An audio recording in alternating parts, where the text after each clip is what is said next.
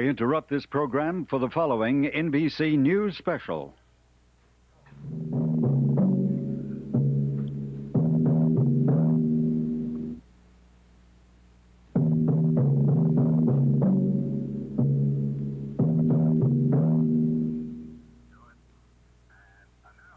The funeral of Princess Grace. Reported by NBC News correspondents Jane Pauley in Monaco and Edwin Newman in New York. Good morning. Princess Grace of Monaco, Grace Kelly of Hollywood and Philadelphia is being laid to rest today. She is to be buried this afternoon at 1 Eastern Time in a crypt beneath the cathedral where today's funeral service is to take place. That service is to begin not quite 30 minutes from now. We will be bringing it to you with Jane Pauley uh, and the British Authority on Royalty, Robert Lacey, in Monaco. Here in New York, I will be joined by Father Robert O'Donnell of the Paulist Fathers. Princess Grace died after an automobile accident last Monday. It took place in France, a few miles across the border from Monaco, which is, as you know, a tiny principality on the Mediterranean nine miles from the French city of Nice, just across the border from Italy. She leaves her husband, Prince Rainier, whom she married 26 years ago in the same in the same cathedral where she is to be buried today. This is a shot of the royal palace in Monaco, from which a procession, the procession bearing the body of Princess Grace, is to go to the Cathedral of St. Nicholas, where the service is to take place. That is one block from the palace palace is pink. That is its color. Princess Grace leaves not only her husband, Prince Rainier, who, by the way, has remained in seclusion from the time of the death, has said nothing to anybody, in public at any rate. And she leaves her son, Prince Albert, her daughters, Princess Caroline and Princess Stephanie. Stephanie was in the car with her mother when the accident took place on Monday. She is under hospital treatment and is not expected to attend the Mass. Father O'Donnell, perhaps you can tell us what the Mass will be, what its religious significance is. Yes, Ed. Uh, whether it's a funeral Mass, as this one will be, or a wedding Mass, or just an ordinary Mass that uh, Catholics attend on Sunday, the Mass is always uh, the, substantially the same. It's the repetition or the reenactment by the priest or an archbishop in this case today of what Jesus himself did at the Last Supper when he ate that Jewish paschal meal with his apostles. Uh, after the meal was finished, as you may remember, he took some of the bread they had been eating and a cup of the wine they had been drinking and changed it into his own substance, into his own body and blood, gave it to his apostles and told them to eat it and drink it and then to do what he had done there in memory of him. And so the church relates its people to the Mass at all the important junctures of the people's lives. Uh, when they're married, when they're, uh, the last commendation when they're dead uh, is done in, within the structure of the Mass. Thank you, Father. As we can see now, the procession is heading out from the palace uh, toward the cathedral. Jane Pauley uh, is in Monaco uh, Jane, would you tell us what you see, please? Uh, good morning, Ed. And I am with uh, Robert Lacey, who has been with NBC on a variety of occasions. He is an expert on royalty, not only European, but also around the world as, as well. And good morning. Uh, we are seeing that uh, uh, the Place du Palais, which is in front of the Grimaldi Palace, a beautiful pink, washed in the Mediterranean sunlight palace on this day that to the mass of, of Princess Grace. You're watching the Monegasque equivalent of the Palace Guard. And there's some uniforms preceding the uh, funeral cortege. We're watching this with special interest in America, France, the this woman. Um, really have spent half her life in America, 26 years, half her life as a Monegasque in Monaco. She retained dual citizenship in that uh, called herself a Monegasque now. Now we see the uh, white draped coffin bearing the body of Her Serene Highness. carried by the 12 members of the Black Penitents. These are dressed as monks. They are, in fact, lay people, lay persons, charged with uh, such duties as burying the dead. And they will bear the coffin. Jane, this is Ed Newman in New York. Jane, this is Ed Newman in New York. We can hear you, but we're not making you out very clearly. Something is wrong with the sound we're getting, so we're going to try to patch that up. And in the meantime, I will do my best to describe what is happening in Monaco. We can all see that the procession has for the moment stopped. Uh, the coffin being taken to the Cathedral of St. Nicholas, a block from the palace. It is to begin in about 24 minutes from now, and we presume that those who are attending, the dignitaries attending, are already uh, in the palace. That is Prince Rainier, the gray-haired man in the middle. Reigning Prince of Monaco, the bereaved husband.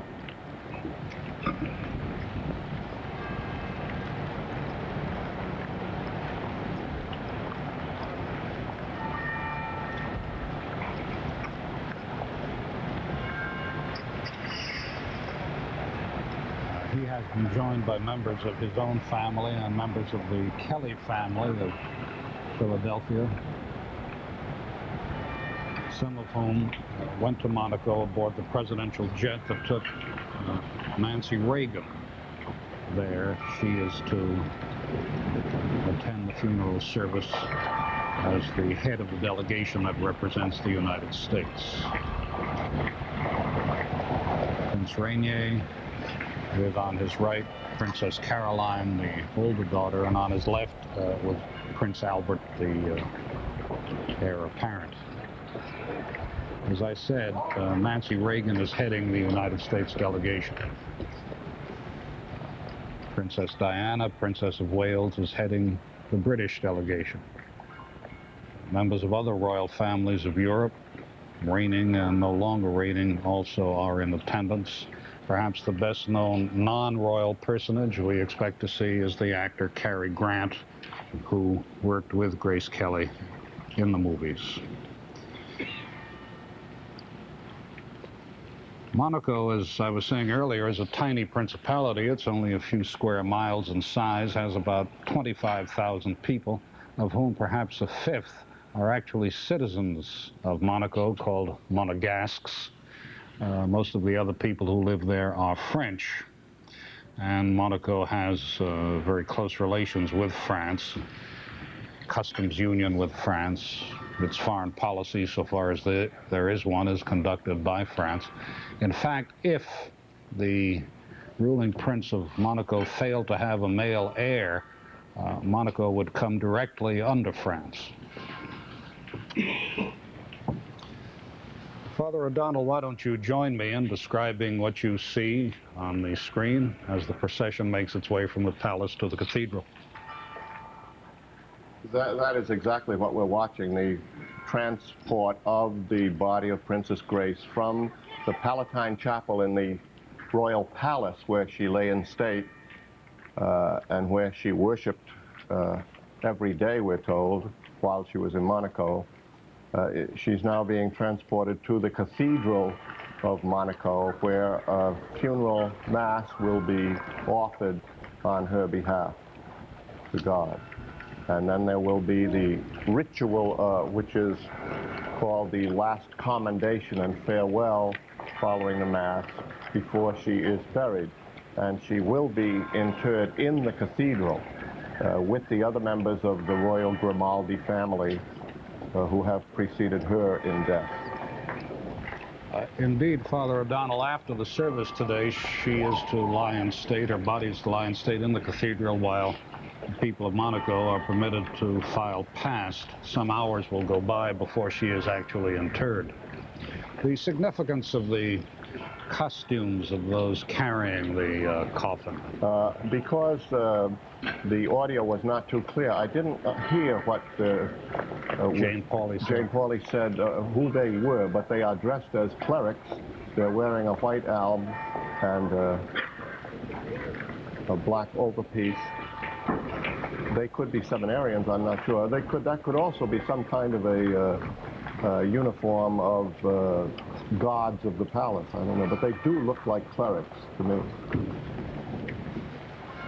Well, we can see that it is a beautiful day in Monaco. That's one reason Monaco is the celebrated resort that it is, of course, the, the weather, the climate it has. Incidentally, we were told that no tourists would be permitted to gather outside the palace as the procession left on its way to the cathedral, uh, that uh, only citizens of Monaco would be permitted to do so. Again, a picture of Prince Rainier, Prince Albert, and Princess Caroline. Princess Stephanie, who was with Grace in the car when the accident took place on Monday, is in a hospital under treatment, said to be recovering, uh, but unable to attend this Mass today.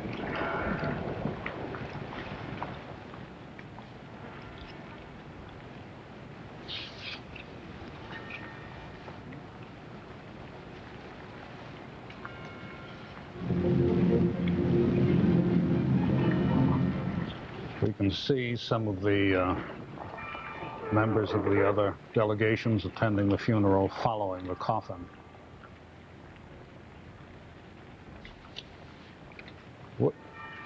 Uh, we tried earlier to uh, call in Jane Pauley, who was in Monaco. In fact, we did call her in, but something was wrong with the sound we were getting. We think we have it repaired now, so let's try again to get Jane. Jane, will you go ahead? I can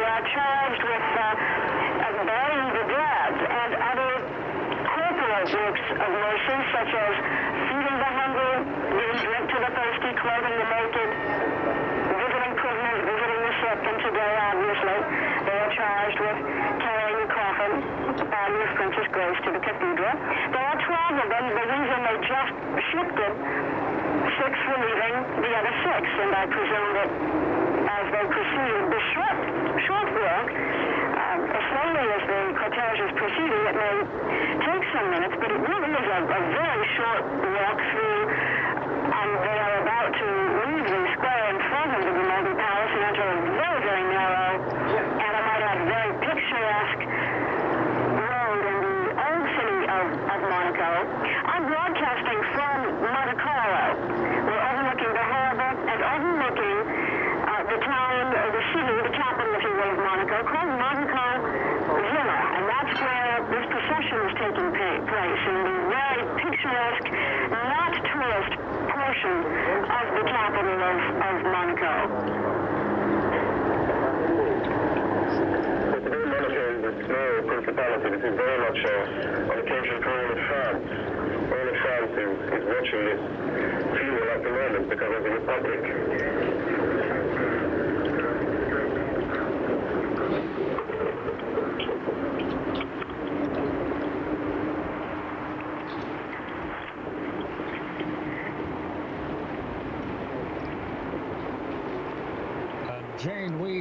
Told that uh, Mrs. Reagan arrived last night. She flew into Nice aboard the presidential jet, was driven to the Royal Palace where I believe she stayed.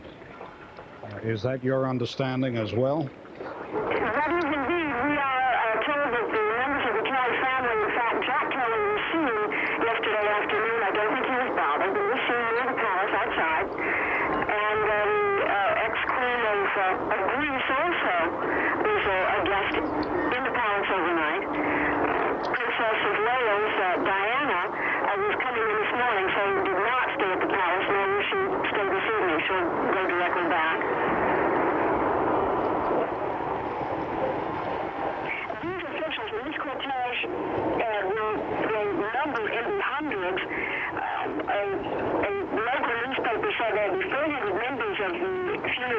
Most of them are, are state business, uh, city officials from, from Monaco. Uh, the uniformed dignitaries represented will be consular officials from a dozen or so foreign nations represented here in Monaco.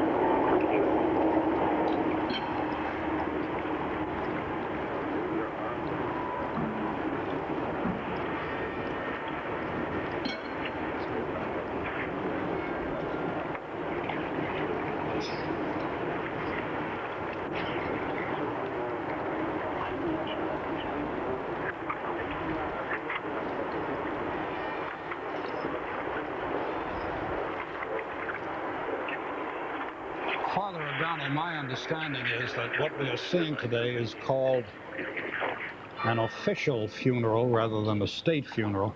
Uh, so-called state funeral would be more elaborate, more lavish than this. Uh, what we're seeing is an official funeral, which uh, is somewhat, as I say, less lavish. Uh, we're also told that at one point, Prince Rainier thought that he might have something very much like a private funeral, in which the ceremony would be much reduced. Uh, there would be no foreign delegations present, but he decided that it was not possible to go ahead in that way because of the attention that uh, the death of Princess Grace attracted, and indeed because of the place she's had in the world for so many years. Uh, as we can see now, this is one of the winding uh, streets of Monaco, through which from time to time, though it's occasionally hard to believe, automobile races take place. Monaco is, of course, a very rocky place, a very steep sort of place, full of hills, uh, hairpin turns, nooks and crannies, and colorful corners, the sort of place tourists like to go to, although over the last years it has been greatly built up with uh, high-rise apartment buildings, largely populated by people who are not uh, citizens of, of Monaco. Father, the cross we see. The cross is being carried as it is in all religious processions, Ed. I think what is striking about what we're watching there is that the Archbishop of Monaco, Archbishop Charles Brand, is uh, processing by himself. He has no other uh, archbishops. There appears to be no cardinals present. Uh, it seems to be a reflection of what you just said, that Prince Rainier wanted to keep the ceremony simple. Yes, I, I have seen no mention of uh, any any cardinal. The Archbishop himself is a rather interesting man. Uh, as I understand it, he was born in Alsace. That's correct. And he was the uh, auxiliary bishop of Strasbourg In France. Alsace, in Mhm. France, uh, before he was appointed uh, a short time ago to this post in Monaco. We can just make out just above the coffin the face of Princess Caroline, Princess Grace's older daughter, and to her left, Prince Rainier, who appears to have been crying. The gray-haired man with the gray mustache. Quite a dashing figure at the time he married Princess Grace 26 years ago in, as we've said, the cathedral where the service today is to take place. To the left of Prince Rainier, uh, their son, Prince Albert, a graduate, by the way, of Amherst College in Massachusetts. Princess Grace believed in maintaining some connection with the United States, especially for her children. And uh, one result of that was that Prince Albert attended Amherst. Didn't she come to this country with her Prince Rainier to the graduation? Yes, she did. Andrew, Yes. Just this past year.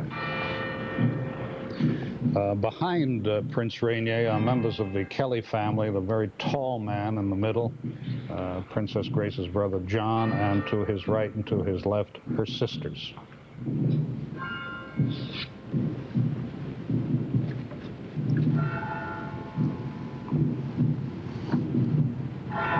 Princess Grace had um, two older sisters, Mrs. Conway and Mrs. Levine.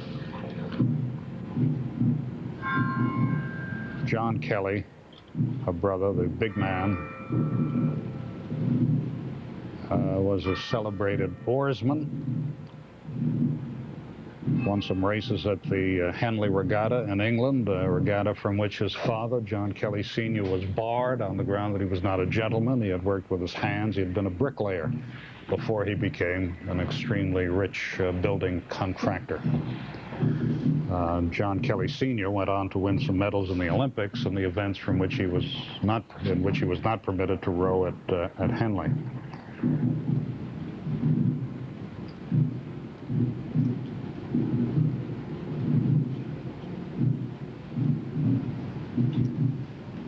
It is sad, Father O'Donnell, that a shadow is being cast on these somber proceedings today by the controversy uh, that has arisen over the treatment, medical treatment given to Princess Grace and the bulletins on her condition issued by Prince Rainier's uh, palace staff, which suggested at first that she was not seriously hurt, that her life was, well, she may have been seriously hurt, but her life was not in danger.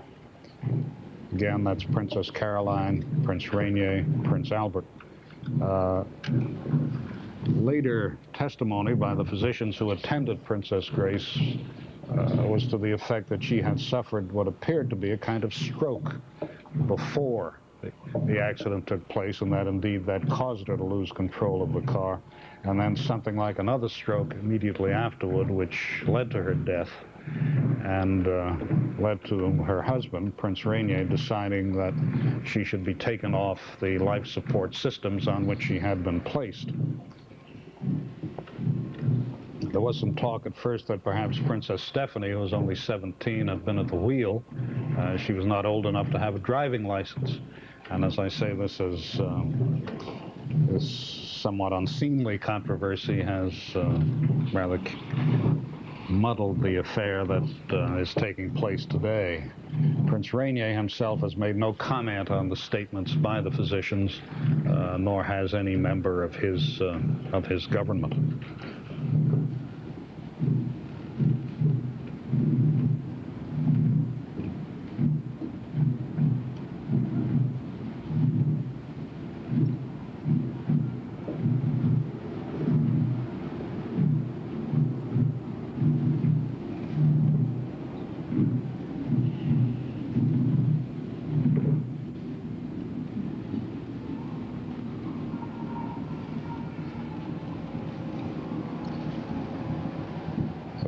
Now in the procession. I take it that we are that it has arrived outside the cathedral.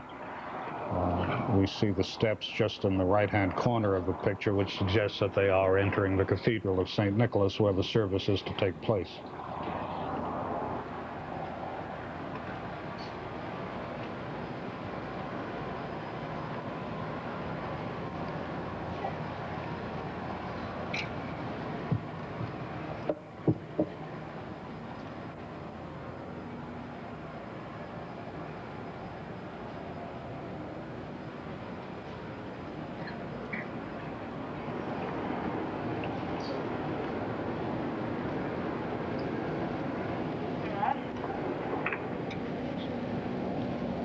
One cannot help but be struck by the profusion of flowers that we see. Uh, this is, of course, the Riviera. In Italian, the uh, Riviera dei Fiori, Riviera of flowers, and they are everywhere in the thousands.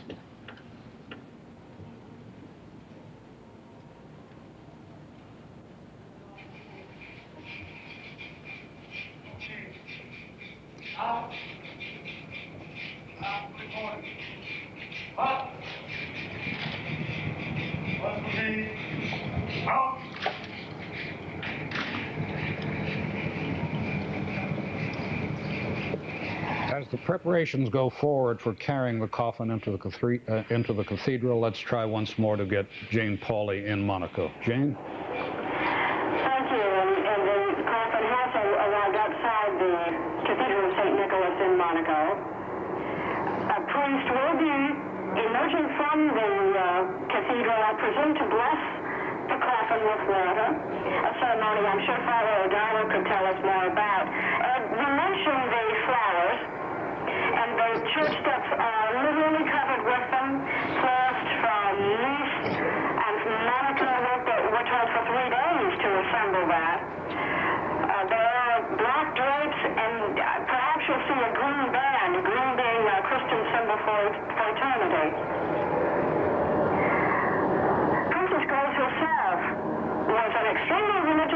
Mentioned, she was raised in a convent, and nevertheless, some of the uh, people who were suspicious 26 years ago when the Hollywood actors arrived. There was, however, a wonderful story within an hour after her marriage. At this very cathedral, she and Rainier, in driving through the throngs, paused at a shrine, and she made her wedding bouquet the of a statue to the Virgin Saint Devota, the patron saint of Monaco, leaning in the dust, or kneeling in the dust in that gesture. And for the last 26 years, she has laid all doubts among this 95% Catholic community that she was a religious and moral woman, a dedicated monarch and mother.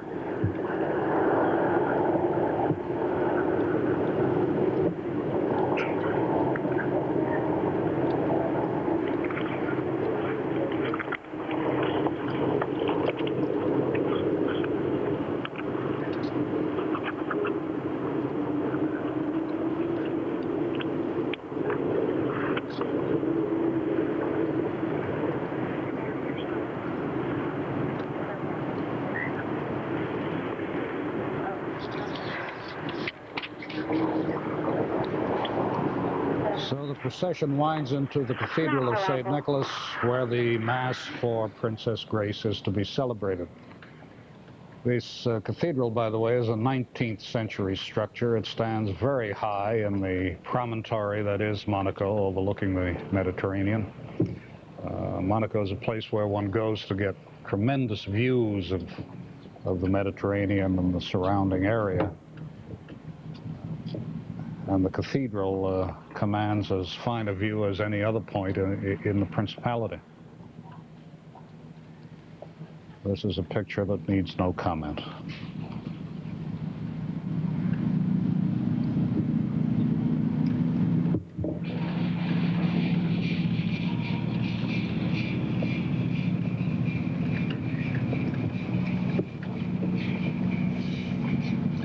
According to the timetable we were given, the service was to begin in about two minutes from now, 5 o'clock Eastern Daylight Time, which is 10 o'clock in the morning uh, in Monaco. And uh, it's possible that they are running slightly behind schedule.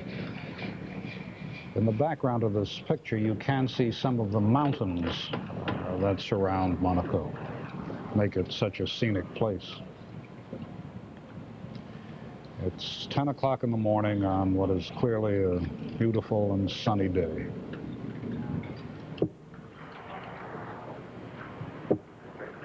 Perhaps I should explain that the pictures we are seeing are being provided for us by French television. Uh, we are not in control of the pictures that we're showing you.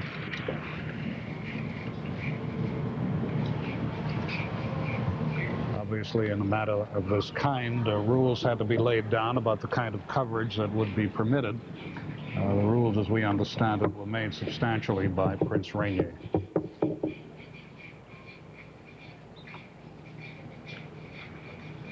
Clearly, they represent a compromise between a desire for privacy at a particularly sad moment in the lives of Princess Grace's family and the interest of the rest of the world in what is going on.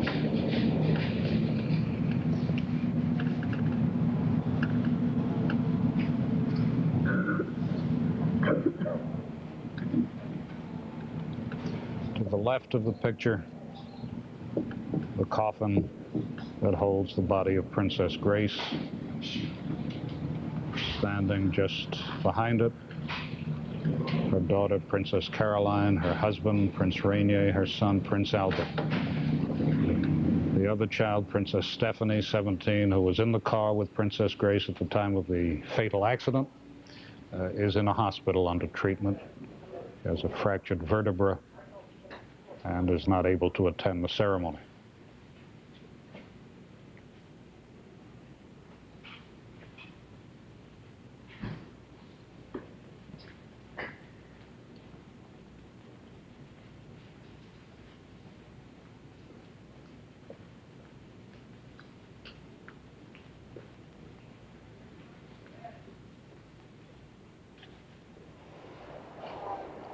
Jane Pauley, would you tell us what you're seeing now? We're seeing the front of the uh, cathedral full of flowers, and I'm reminded of something else, Ed. I think you mentioned earlier, Prince Rainier himself uh, uh, urged that this be simple, a simple service, I believe is your word. And Princess Grace's biographer, who is also a good friend, she was speaking about the request that uh, the flowers be small flowers. And she said that was typical, sounds so like Princess Grace, and that she was humble. And then she stopped and said, no, humble is not the word. She knew her worth. But she had a great simplicity. She would have liked small flowers. Robert? We were talking this morning with um, the former Bishop of Monaco who presided over the marriage of uh, Princess Grace and is now here at the funeral. Saying this was one of the things about Princess Grace, simplicity and the great sense of style that she brought to all public occasions in Monaco.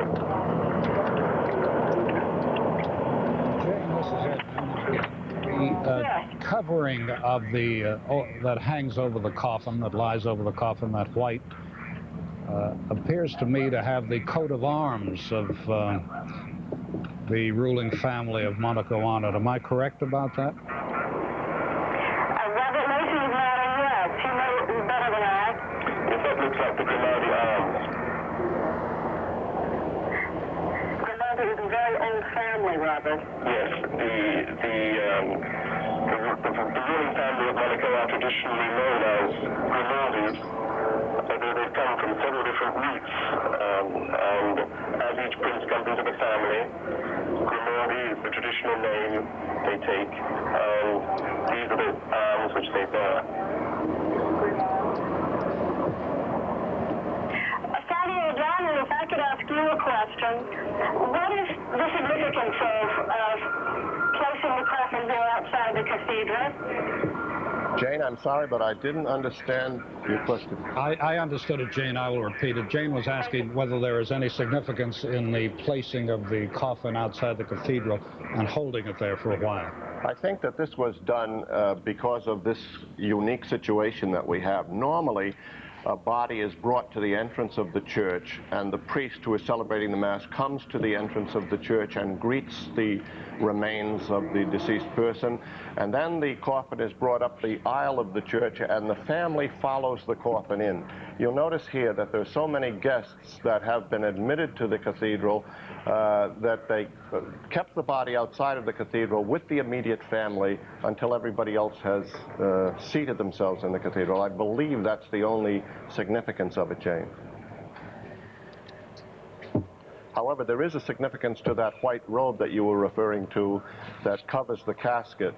The, the ritual of the church calls for the casket to be covered with a white cloth to symbolize the purity of uh, baptism, of the sacrament of baptism, which Grace first received, in, uh, which first made her a member of the church in which she is today being buried. If I could observe too, the cathedral inside, though it is a 19th century edifice, it's very medieval appearing, austere, dark, and yet it faces the sea, it faces the Mediterranean. So the casket is, is facing one of the most beautiful spots on God's earth before it enters the, uh, the darkness of, of the cathedral for the funeral mass.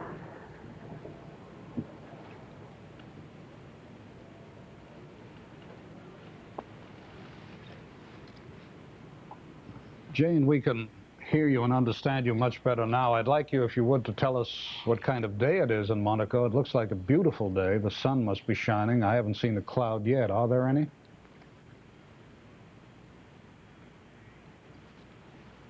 Well, we seem to have lost Jane. And ever since we arrived,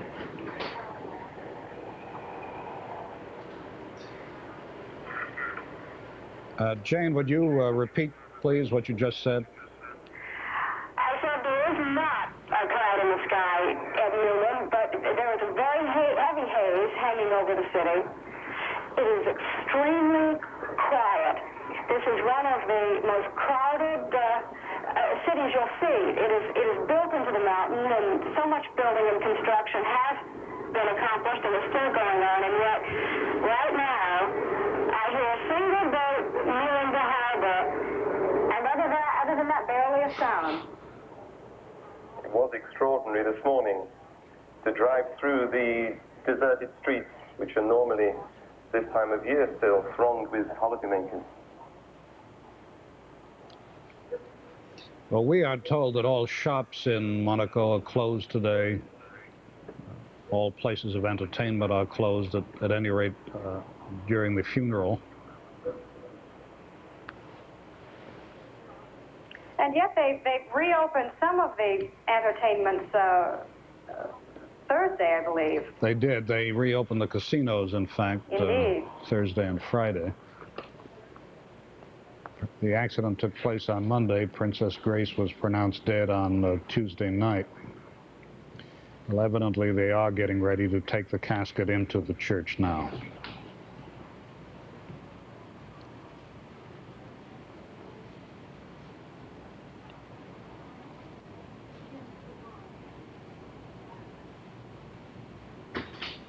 I believe Jane said earlier that the Archbishop, excuse me, sprinkled the casket with holy water. Uh, as he does that, he recites this brief prayer. I bless the body of grace with this holy water that recalls her baptism, of which St. Paul writes, All of us who were baptized into Christ Jesus were baptized into his death. By baptism into his death, we were buried together with him so that just as Christ was raised from the dead by the glory of the Father, we too might live a new life. For if we have been united with him by likeness to his death, so shall we be united with him by likeness to his resurrection.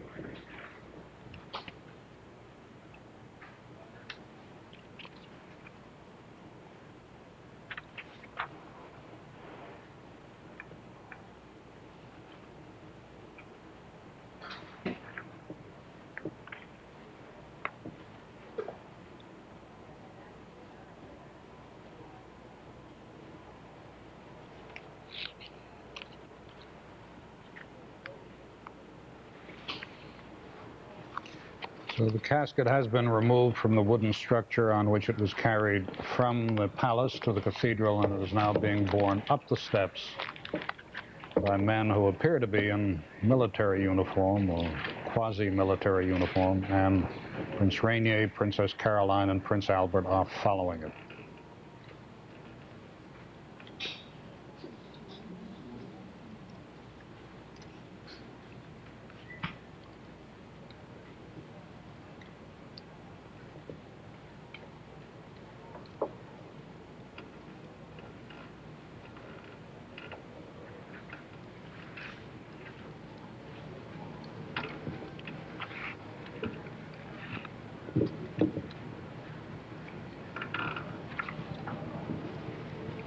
And I can't help but be moved by the absence here of, of Princess, Princess Stephanie. She seems very close to her mother, 17 years old, born several years after her older brother and sister. And she is in the hospital as we speak, a reminder of the brutal tragedy that, that brought us here today.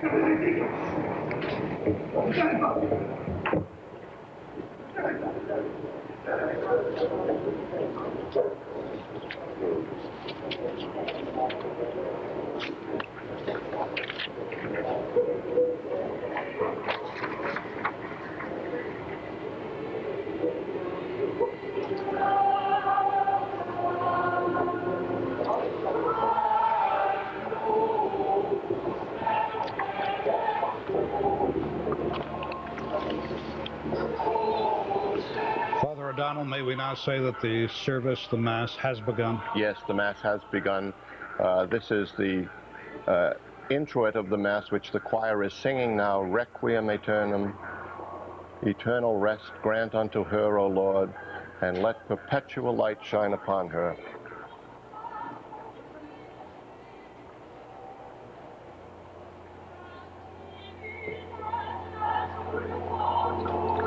Have not been told, Ed, as you know, what language is going to be used in the Mass today.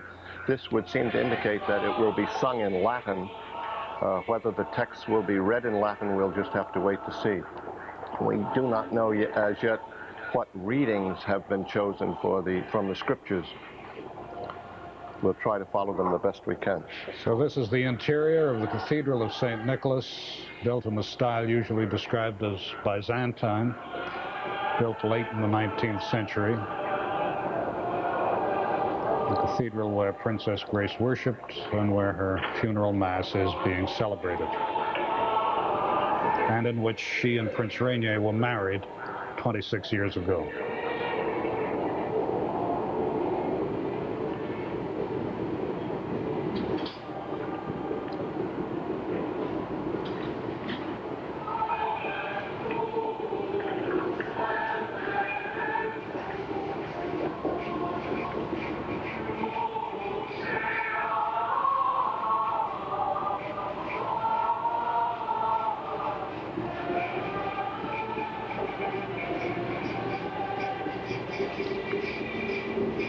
Again, the casket is being covered by the white cloth, which symbolizes Grace's baptism, the purity of that sacrament.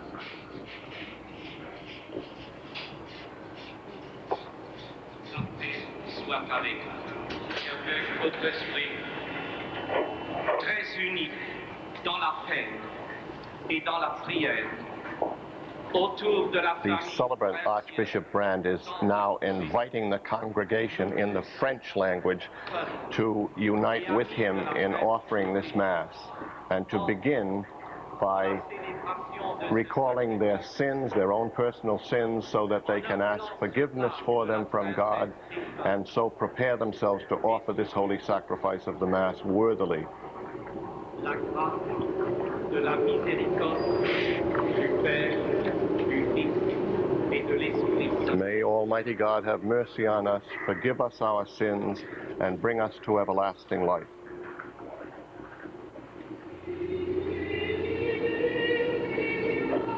The choir now sings the only part of the Mass which is in the Greek language, the Kyrie eleison, which is an, a petition for mercy from Almighty God and from Christ. Lord, have mercy. Christ, have mercy. Lord, have mercy.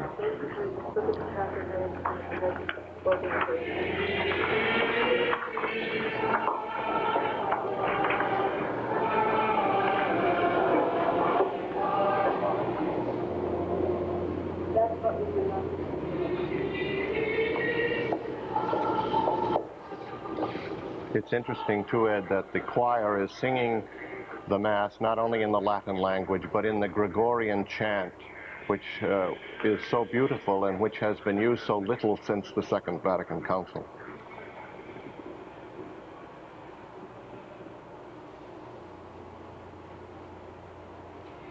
I said earlier, Father, that this was an official funeral, and I imagine that that is why we're seeing men with rifles. I don't think the word official, Ed, is a clerical or an ecclesiastical term. I think that it's probably a, a state term that they have chosen to describe this funeral. This would be called a solemn mass in ecclesiastical terminology.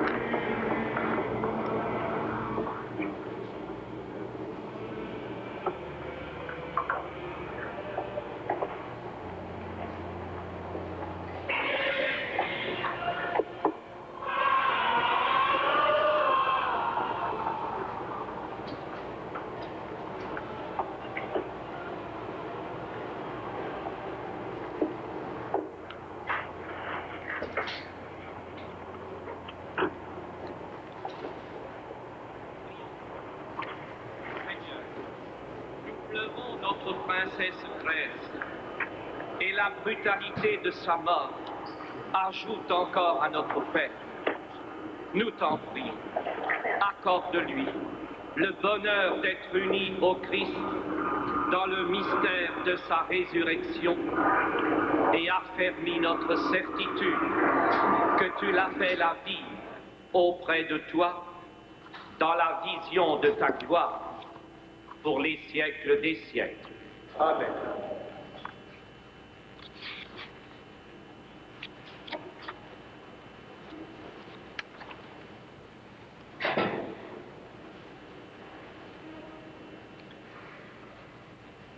Lecture du livre de la sagesse. La vie des justes est dans la main de Dieu. Aucun tourment n'a de prise sur eux. Celui qui ne réfléchit pas, The reader is reading from the book of Wisdom from the Old Testament, de ce monde a passé pour un malheur. the third chapter, which begins that the life of the just is in the hands of God. Aux yeux des hommes, ils subissaient un châtiment, mais par leur espérance, ils avaient déjà l'immortalité. Ce qu'ils ont eu à souffrir était peu de choses auprès du bonheur dont ils seront comblés. The souls of the just are in the hands of God, and no torment shall touch them. They seem, in the view of the foolish, to be dead, and their passing away was thought an affliction, and their going forth from us utter destruction. But they are in peace. For if before men they be punished, yet is their hope full of immortality. Chastised a little, they shall be greatly blessed, because God tried them and found them worthy of himself. As gold in a furnace, he proved them. As a sacrificial offering, he took them to himself.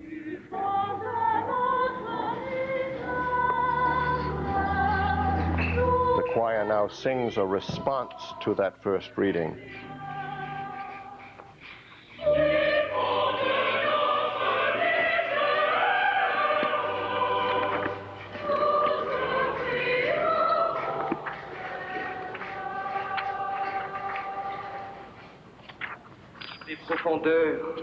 Je crie vers toi, Seigneur. Écoute mon appel. Que ton oreille se fasse attentive au cri de ma prière. The reader is interspersing petitions to God with the uh, refrains that the choir is singing, again in French.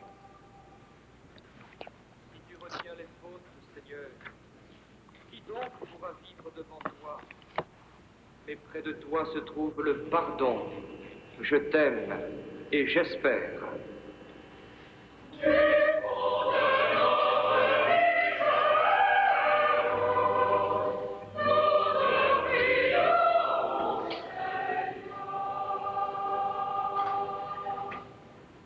Mon âme attend le Seigneur, je suis sûr de sa parole. Mon âme attend plus sûrement le Seigneur qu'un veilleur n'attend l'aurore.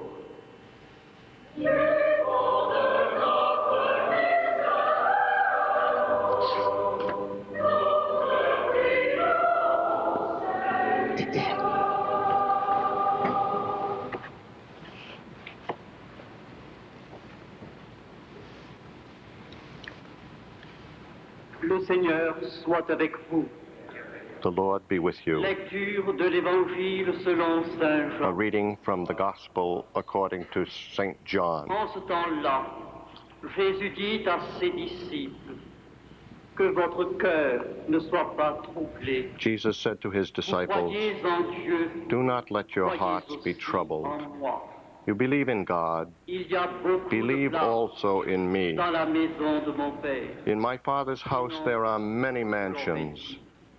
Were it not so, I should have told you, Préparez une place. because I go to prepare a place for you. allé vous la préparer, And if I go and prepare a place for you, I am coming again, and I will take you to myself, où je suis, that where I am, et vous aussi. there you may also be. savez où je vais. And where I go, you know, savez le chemin. and the way you know.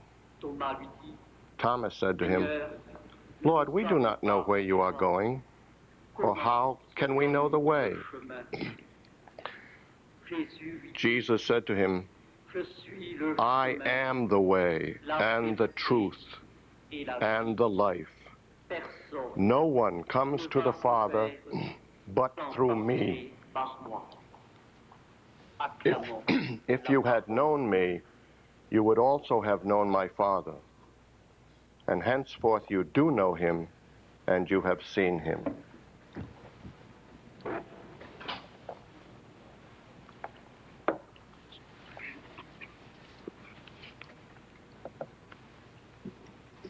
Monseigneur, Altesse, Excellence, Mesdames, Messieurs, frères et sœurs, Archbishop Brand is now beginning the homily. nous voici donc tous unis profondément dans la peine et dans la douleur.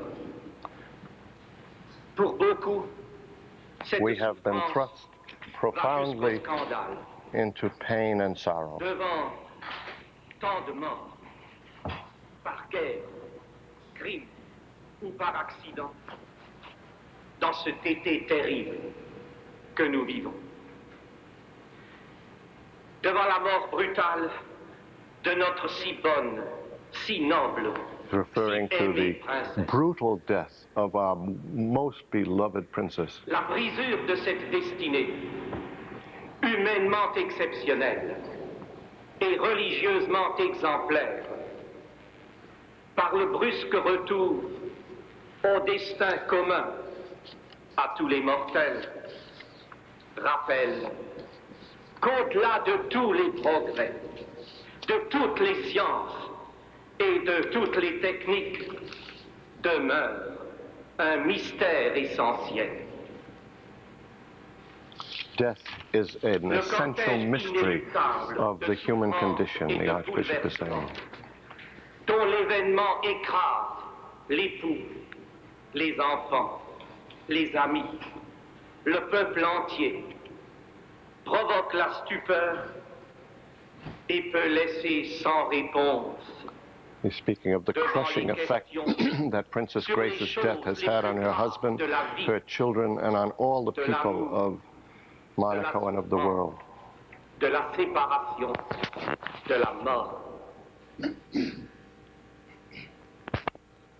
Mais ce que nous savons, c'est That qu'une the first time we've seen Mrs. la Reagan foi, qui assume inside the toutes les cathedral choses de la during vie the et de la funeral mass for Princess Grace. avait modelé et comme sculpté To her right is the wife of the President of France, mais la personne Madame Mitterrand. de la princesse Grace. Et ceux qui partagent sa foi et acceptent l'originalité The Archbishop is now speaking of the strength that the family and the people in general draw from the faith which they have in the resurrection from the dead. recevoir avec espérance And it is that faith, he said, that makes it possible for us to support all the tragedies of this earthly existence. Et d'abord, que nos défunts sont vivants. Les plus croyants savent, les moins croyants soupçonnent que l'extraordinaire don de présence de la princesse, que pour la première fois depuis longtemps nos yeux ne voient plus dans le cœur de cette cathédrale, est transformé. For the first time, he says, in a very long while, we will no longer see our beloved princess in this cathedral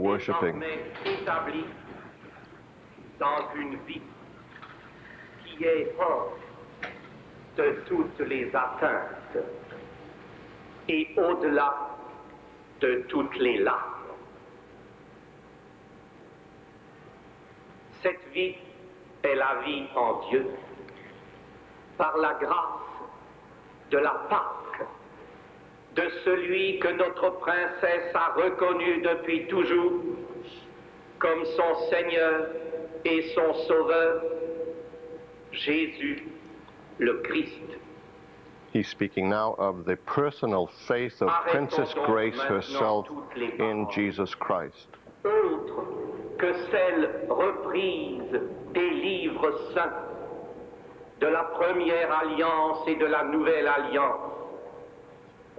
Mes paroles, répercutées sans fin jusqu'au plus profond de nous-mêmes. Les paroles de Job, immergées dans son humiliation et dans sa douleur, Job prit la parole. Je voudrais qu'on écrive ce que je vais dire et que mes paroles soient gravées sur le bronze par le ciseau de fer et le poinçon, qu'elles soient sculptées dans le roc, notre roc, pour toujours. Je sais, moi, que mon libérateur est vivant. Je me tiendrai debout et de mes yeux je verrai Dieu. Again, this is Mrs. Reagan. Let me correct what I said a moment ago. Madame Mitterrand uh, is on her left, and to her right was to be the uh, President of Ireland, Patrick Hillery. I don't know whether that is Mrs. Hillery who was on Mrs. Reagan's right. de la foi juive et de la sagesse grecque. Le livre de la sagesse. Que nous écoutions en première lecture de cette liturgie. Les âmes des justes sont dans la main de Dieu. The Archbishop is referring now to the first reading which we listened to in the liturgy, which was from the Book of Wisdom, which reminded us that the, the, li- the souls of the just are in God's hands, and no torment shall touch them. étaient pleines d'immortalité, ils resplendiront comme des étincelles qui courent à travers le chaume. Et les promesses souveraines et décisives The du Kelly Seigneur family inside the cathedral. rapportées par l'apôtre Jean, que nous avons entendu il y a un instant aussi. Dans la maison de mon Père, il y a beaucoup de demeures. In my Father's house there are many Et je mansions, vais vous y préparer une place. and I am going there to prepare a Et place quand for you. préparer, à nouveau je viendrai. And if I go to prepare a place for you, I will come back again and take you with me, suis, vous serez vous aussi. and you will be then where Et I am. je vais, vous savez le chemin. You know where I am going, and you know the way I am going. Vous savez le chemin. You know the way. Que notre princesse, si secourable envers tous, alors qu'elle était parmi nous, reçoive le secours de notre prière. May our Maintenant, precious princess, maintenant through the intercession of our prayers for her, et qu'au-delà go with Christ to the place that he has prepared for her in his Father's kingdom. pour elle, elle va connaître la rencontre la plus éblouissante, la plus définitive, la plus heureuse, la rencontre avec le ressuscité. Amen. He ended by saying that Princess Grace is now enjoying a fuller and a happier life than she ever knew on this earth, although that was a happy life indeed.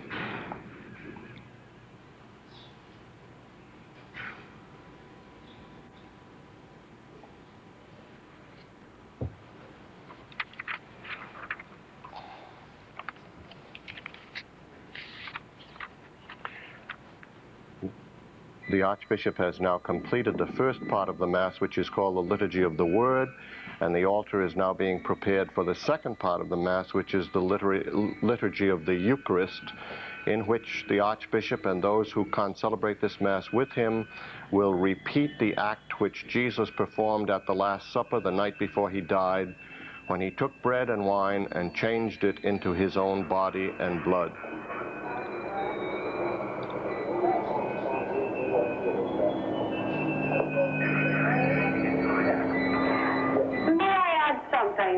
Now to the um, notion of the happy life she led? Princess Grace once spoke herself about happiness. She said, I have peace of mind and occasional moments of happiness. Happiness isn't a perpetual state. Life isn't that way.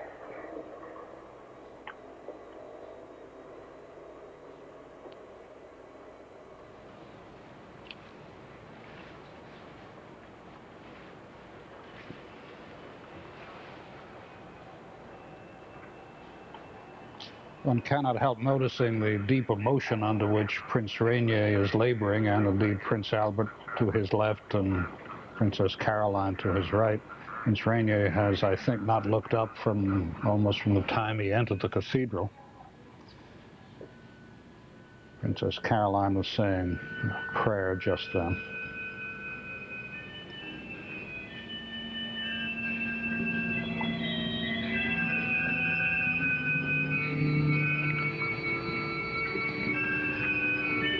Speaks of Princess Grace's happy life, one must say that she was brought some unhappiness. This was known by the marriage of her daughter, Princess Caroline, to a man much older than she was, marriage which ended in divorce.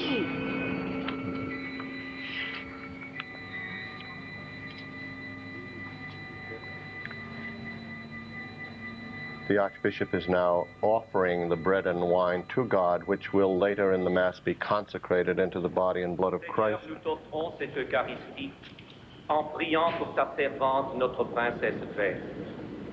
Accueille-la dans ton royaume, avec ton Fils, qui nous unit pour toujours par le mystère de son amour. Lui qui The Archbishop is avec toi et reciting a prayer which is re- which is called the prayer of the faithful, the prayer of the people, uh, which beseeches God to answer the, our petitions for which we offer this Holy Mass today. This is immediately prior to the offertory, which I referred to a moment ago. est juste et bon de te rendre gloire, de t'offrir notre action de grâce toujours et en tout lieu à toi, Père très saint, Dieu éternel et tout-puissant, par le Christ, notre Seigneur.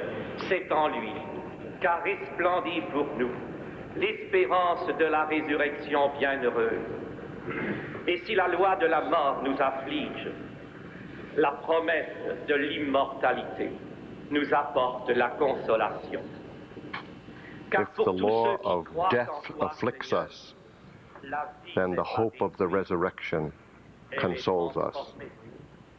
Et lorsque prend fin leur séjour sur la terre, ils ont déjà une demeure éternelle dans les cieux. C'est pourquoi, avec les anges et les archanges, avec les puissances d'en haut et tous les esprits bienheureux, nous chantons l'hymne de ta gloire et sans fin nous proclamons. With the angels and archangels and all the saints of heaven, we sing your praises. And the choir takes up the Sanctus. Holy, holy, Lord God Almighty. Heaven and earth are full of your glory. Hosanna in the highest.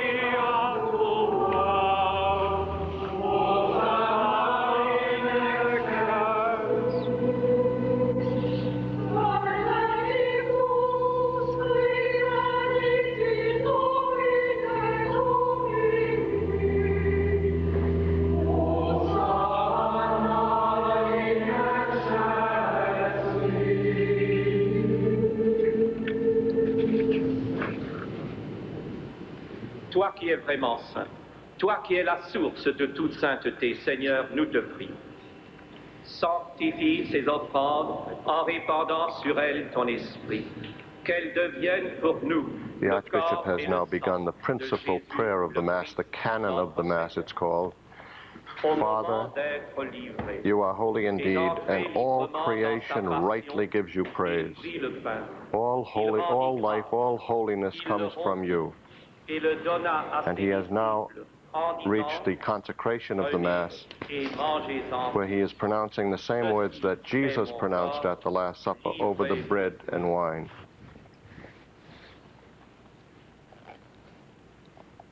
Take this, all of you, and eat it.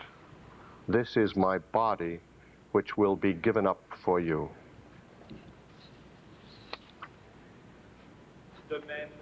De même, à la fin du repas, il When supper was ended, he took the cup. De nouveau, il rendit grâce Again, he gave you thanks and praise, gave the cup to his disciples, and said, Take this, all of you, and drink from it. This is the cup of my blood, le sang de the blood of the new and everlasting covenant. It will be shed for you and for all, so that sins may be forgiven. Do this in memory of me.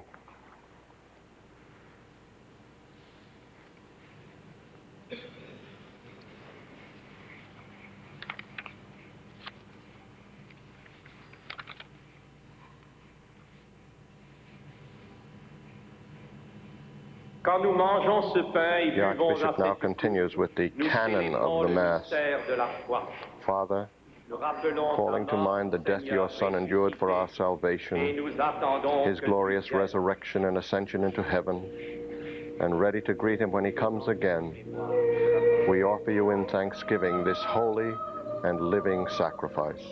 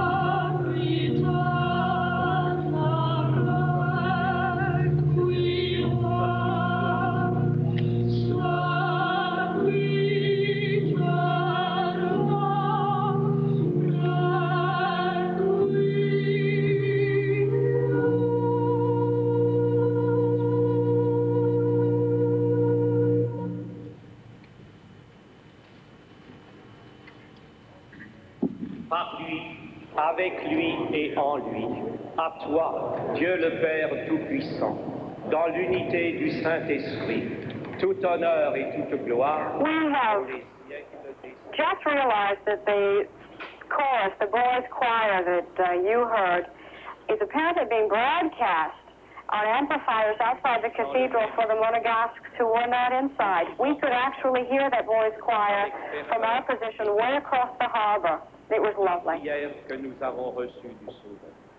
It was a lovely, simple hymn uh, entitled Après l'Élévation, After the Rising, by a French composer, Fauré.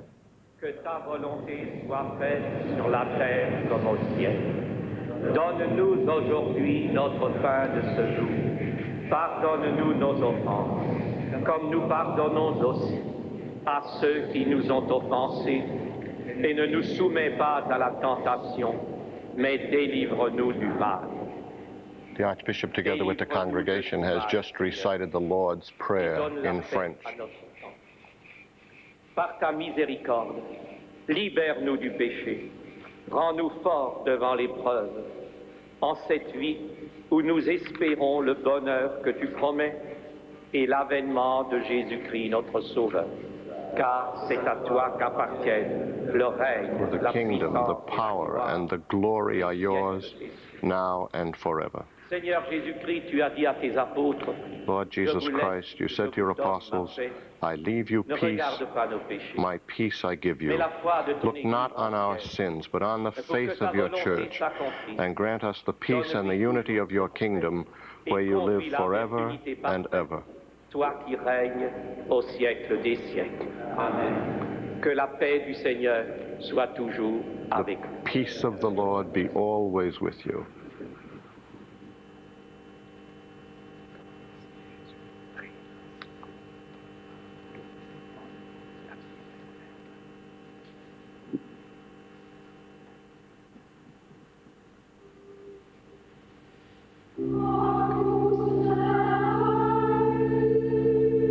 The choir now sings in Gregorian plain chant in Latin the Agnus Dei, the Lamb of God.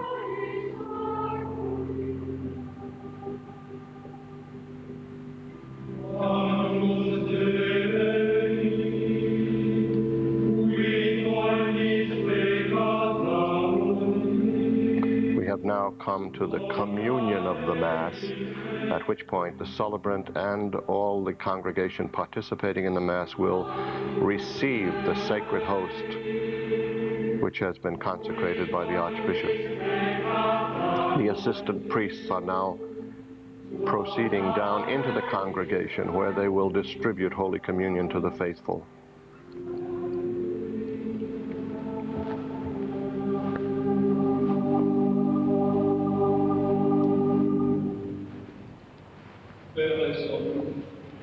D'être invités sans cesse à nous unir au Seigneur ressuscité. Voici l'agneau de Dieu, celui qui enlève le péché du monde. Seigneur, je ne suis pas digne de te recevoir, mais dis seulement une parole. Lord, I am not worthy to receive you, but only say the word, and my soul shall be saved.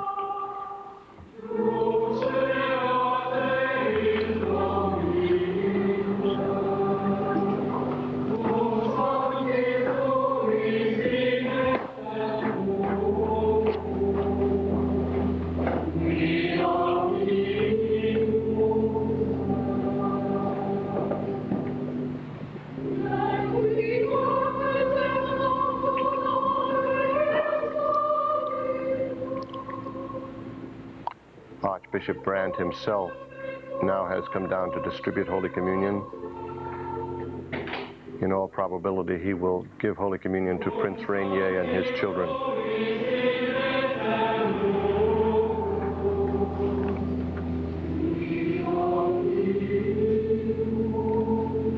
And to the other members of the Grimaldi and the Kelly families.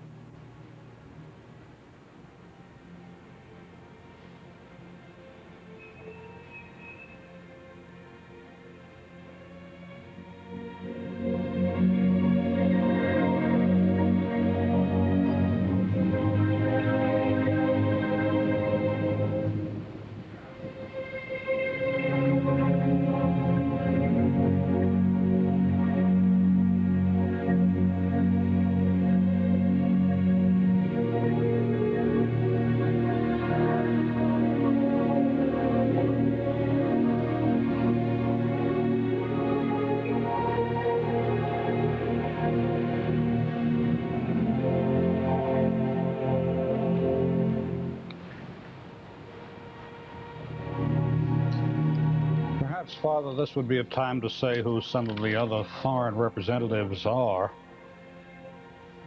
Princess Diana, Princess of Wales, heads the British delegation. We have not seen her. The French delegation is headed by Madame Mitterrand, Danielle Mitterrand, uh, wife of the President of France, and the French Foreign Minister Claude Cheysson. Uh, other guests include Prince Bertil of Sweden, Princess Benedicta of Denmark, who I think we saw just behind and to the right of, of Mrs. Reagan, Prince Paul of Belgium, Grand Duchess Josephine of Luxembourg, the former King of Romania, King Michael, and ex-Queen Anne Marie of Greece. The United States delegation includes, among others, uh, the Secretary of the Navy, John Lehman, who is a cousin of the Kelly family.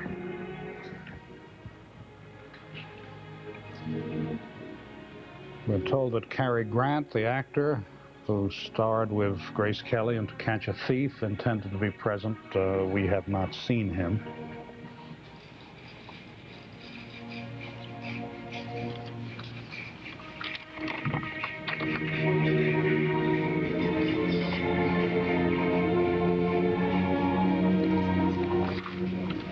Other members of the United States delegation, Governor Thornburgh of Pennsylvania, and the United States Ambassador to France, Evan Galbraith, and Representative Thomas Foglietta, who comes from Philadelphia. I have to say, as an Englishman, this is Robert Lacey speaking, that um, the presence of all this royalty at the funeral is a very great personal tribute to Princess Grace. When it was heard in Europe that uh, the Prince of Monaco was going to marry an American film star, I don't think many people would have imagined uh, that she would have had the reception and the recognition that she is having today. And I think that is a tribute to her and the way she's taken to her role. You mean more over and above the title she wore?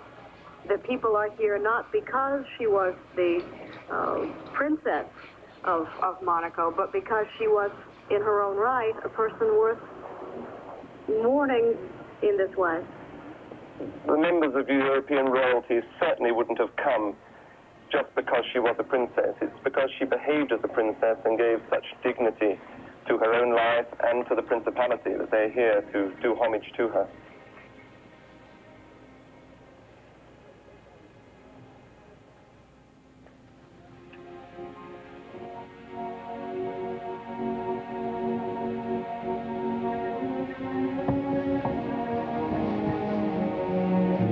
Picture we've seen so often today, the grieving Prince Rainier. To his right, Princess Caroline, looking over toward him with obvious concern. To his left, Prince Albert, the 24-year-old, the 24-year-old son of Rainier and Grace. Again, he has scarcely looked up since the service began. Princess Caroline is 25. She married at the age of 21, and it was known publicly that she was marrying against the wishes of her father and mother. Uh, she married a French businessman a good deal older than she was.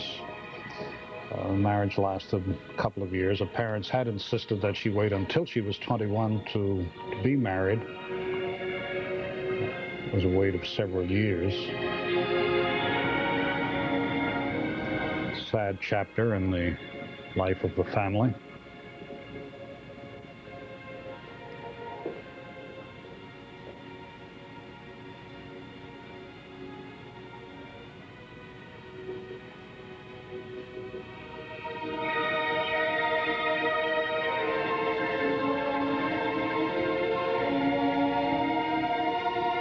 We are approaching now the conclusion of the Mass, and the celebrant Archbishop Brand of Monaco will read the closing prayer and then give the final blessing to the body of Princess Grace. Princess Grace was so well known for her cool, a sense of discipline, and she is known to have felt that um, you shouldn't embarrass people by showing your feelings, that pain is a personal thing, that it's the essence of good manners because it protects other people from outbursts of emotion, as it was told to me. And yet, Robert Lacey, you were saying that the continental man, Prince Rainier, is more likely to be emotional in a public way. It would not be a shameful thing for Prince Rainier to be showing emotion as he is now. We British, of course, have another tradition of the stiff upper lip, but uh, this is a husband's proper homage to a woman he's loved.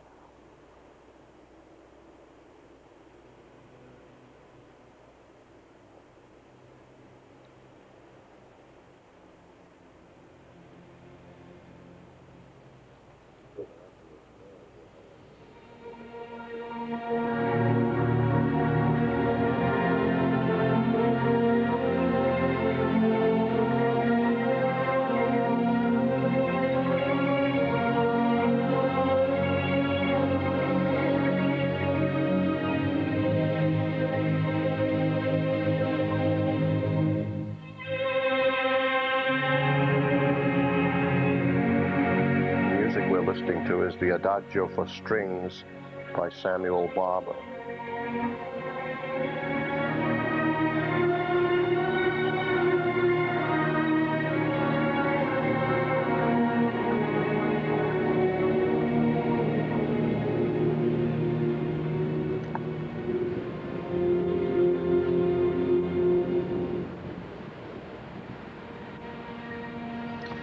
That is a very popular concert piece, perhaps the most popular concert piece ever written by an American composer. I don't know that I've ever heard it before during a funeral service. I suspect that it was a favorite of Princess Grace, and they included it for that reason. I haven't never heard it either, Ed, at a funeral service. But it's a very solemn and appropriate piece of music for a funeral.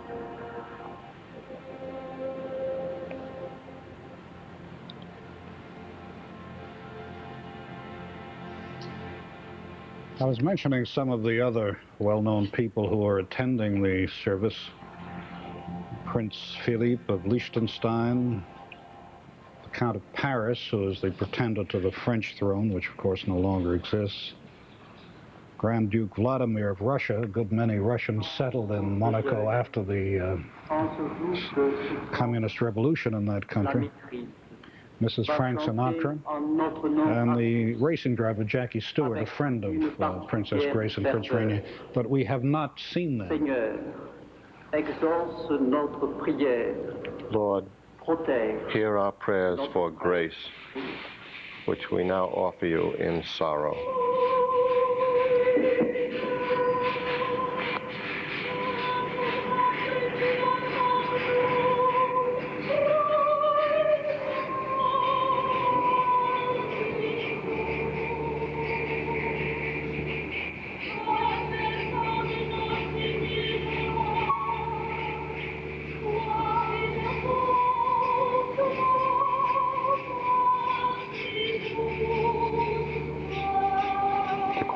Chanting one of the Psalms, in the book of Psalms.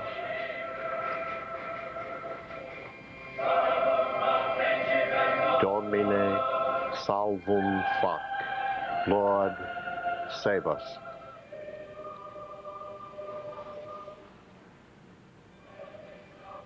Father, no picture could be more eloquent than this, and yet perhaps one would be permitted to think that the protracted close-up of Prince Rainier is almost cruel in the circumstances, certainly hard, if cruel is not the word.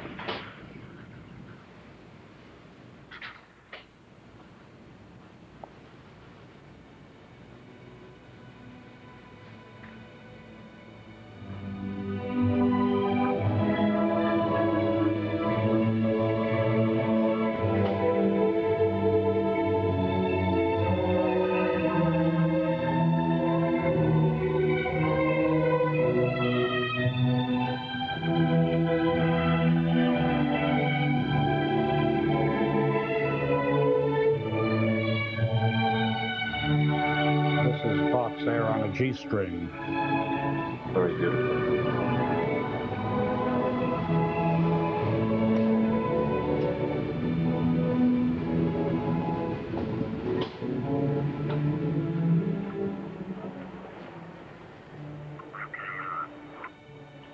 That close-up we saw just now, and there we are again of Princess Prince Rainier is is perhaps hard, but I've been listening to the French commentary, which goes with these pictures, and uh, it's a remarkably distress-laden commentary. The the French comment, the French commentators are very obviously moved themselves personally, and this seems to be affecting the way they're covering the service. And I too might add, Ed, if you were sitting in that cathedral yourself, as those hundreds of, of invited guests are, their eyes are probably on the, the widowed Prince Rainier as well.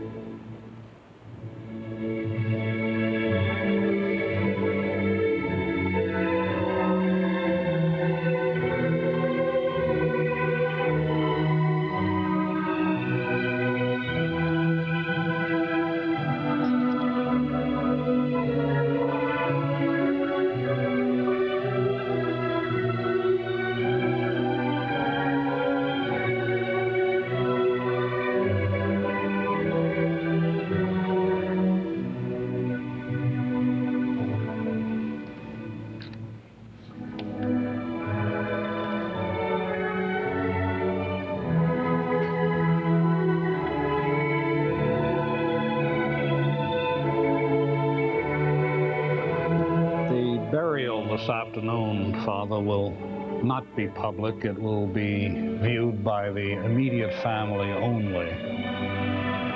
Uh, Princess Grace will be interred in the crypt, uh, the crypt of the cathedral. She will lie next to the three immediate predecessors of her husband, Prince Charles III, who ruled from 1856 to 1889, Prince Albert I, who ruled from 1889 to 1922, and Rainier's grandfather, Prince Louis II, who ruled from 1922 to 1949, uh, when Rainier took over. Took over, it might be said, at a time of considerable difficulty for the principality and soon had to deal with very grave financial problems, which it appears he managed to solve uh, with some help from uh, Aristotle Onassis, as it happened, Onassis's money.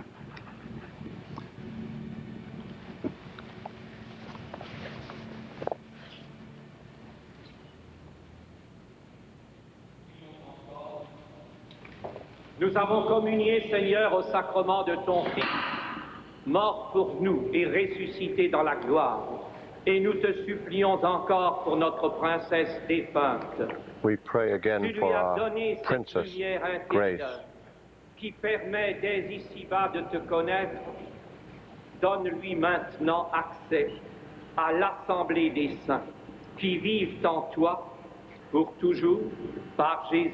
Grace has now been giving, given access to the company of the saints, where she will live eternally with God our Father. What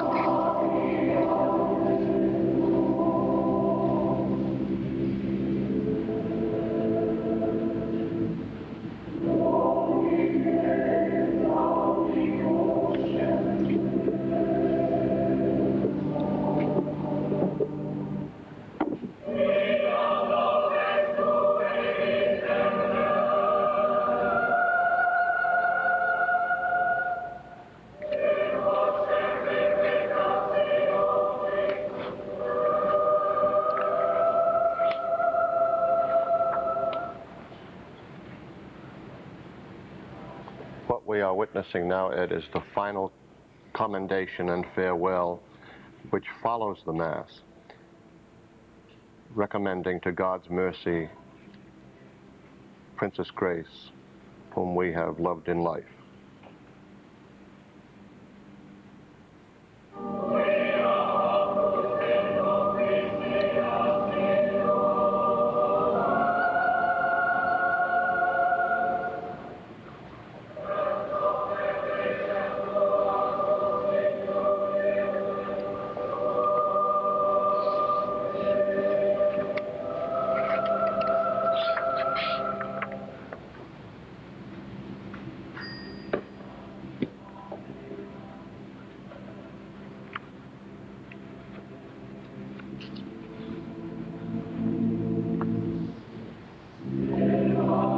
Archbishop is now preparing the incense. He will incense the casket as well as the altar with the incense boat. Incense in the Catholic Church is a symbol of prayer rising to God.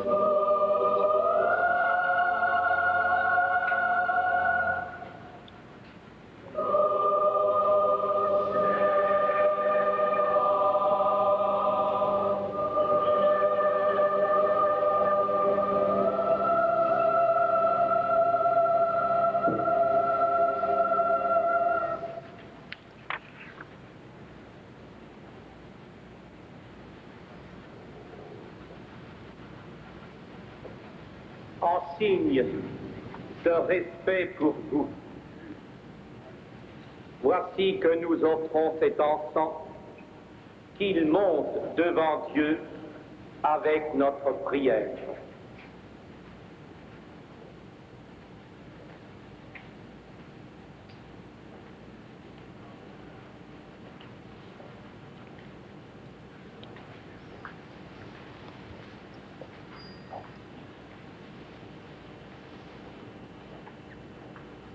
Nous espérons et nous croyons We hope and we believe nous ressusciterons en Dieu.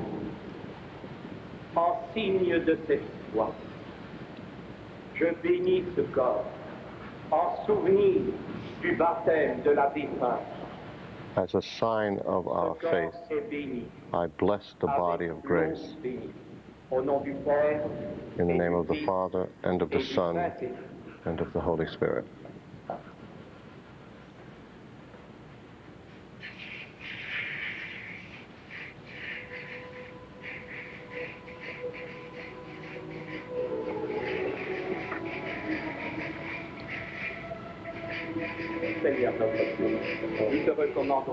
As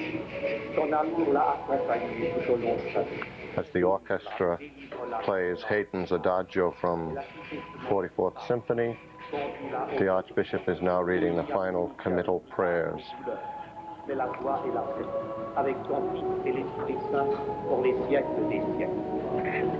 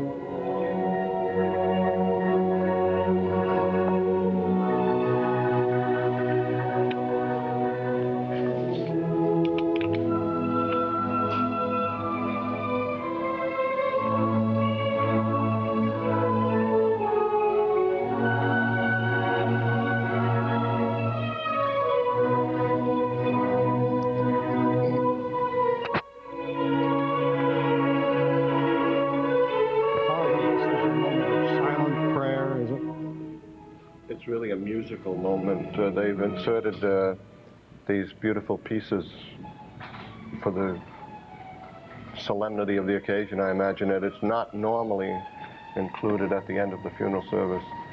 After this, the choir will sing a Gregorian chant in Paradisum, which is a very beautiful uh, funeral piece. Those few roses on the casket now, one must assume, were placed by, by the prince, by the family.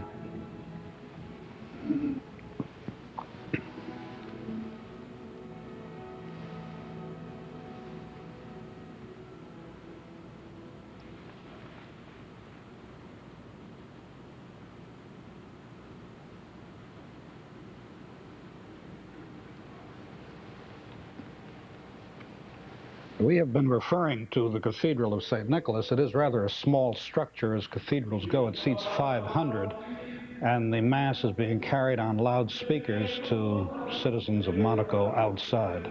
I may be mistaken, Ed, but I believe this is the Cathedral of the Immaculate Conception, and that St. Nicholas Church is a, another church very, uh, very close to it, adjacent to it.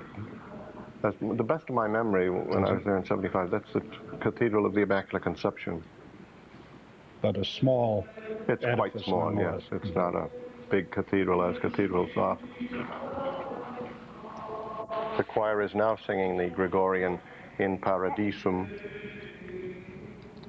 May the angels lead you into paradise. May the martyrs come to welcome you and take you to the holy city, the new and eternal Jerusalem.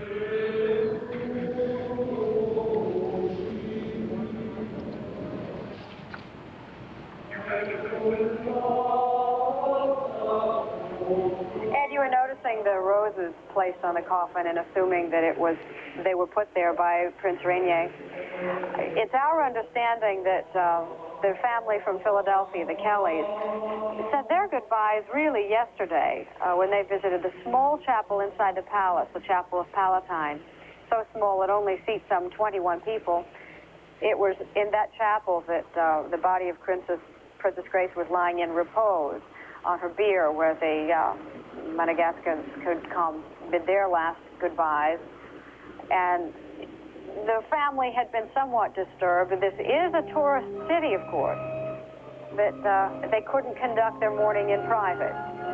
But yet, uh, this was um, the princess, former film star, and had lived her whole life in public.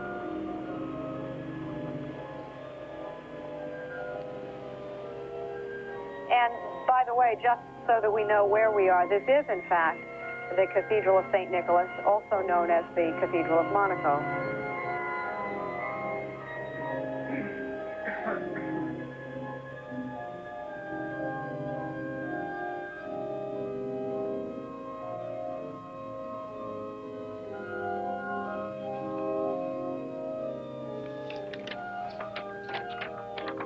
John Kelly brother in the middle, flanked by two sisters, Mrs. Conway and Mrs. Levine. Mrs. Eugene Conlan, Mrs. Donald C. Levine.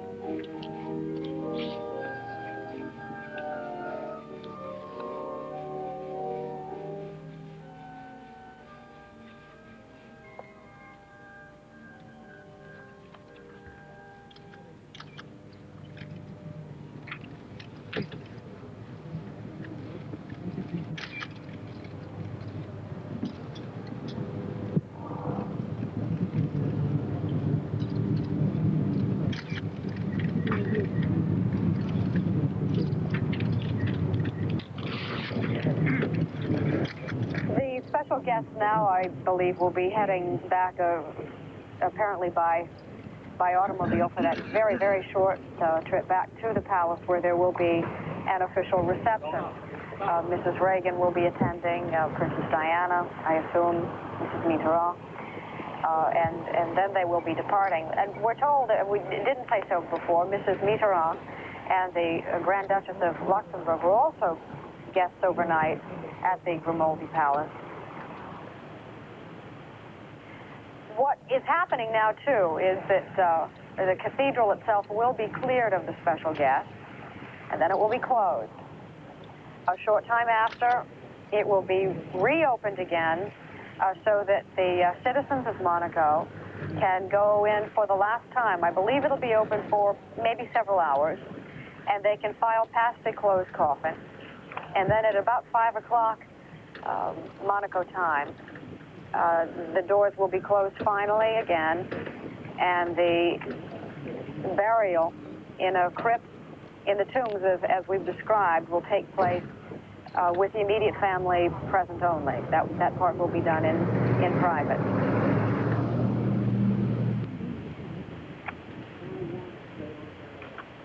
Jane, our understanding is that the interment will take place at 6 p.m. Monaco time, which is 1 p.m. Eastern Daylight Time. That may well be correct. If, if they uh, close the cathedral at 5 o'clock, then that would give them an hour to uh, prepare for the following ceremony at 6. That would make good sense. That is a clock on the uh, Grimaldi Palace that says it's uh, 15 minutes after, after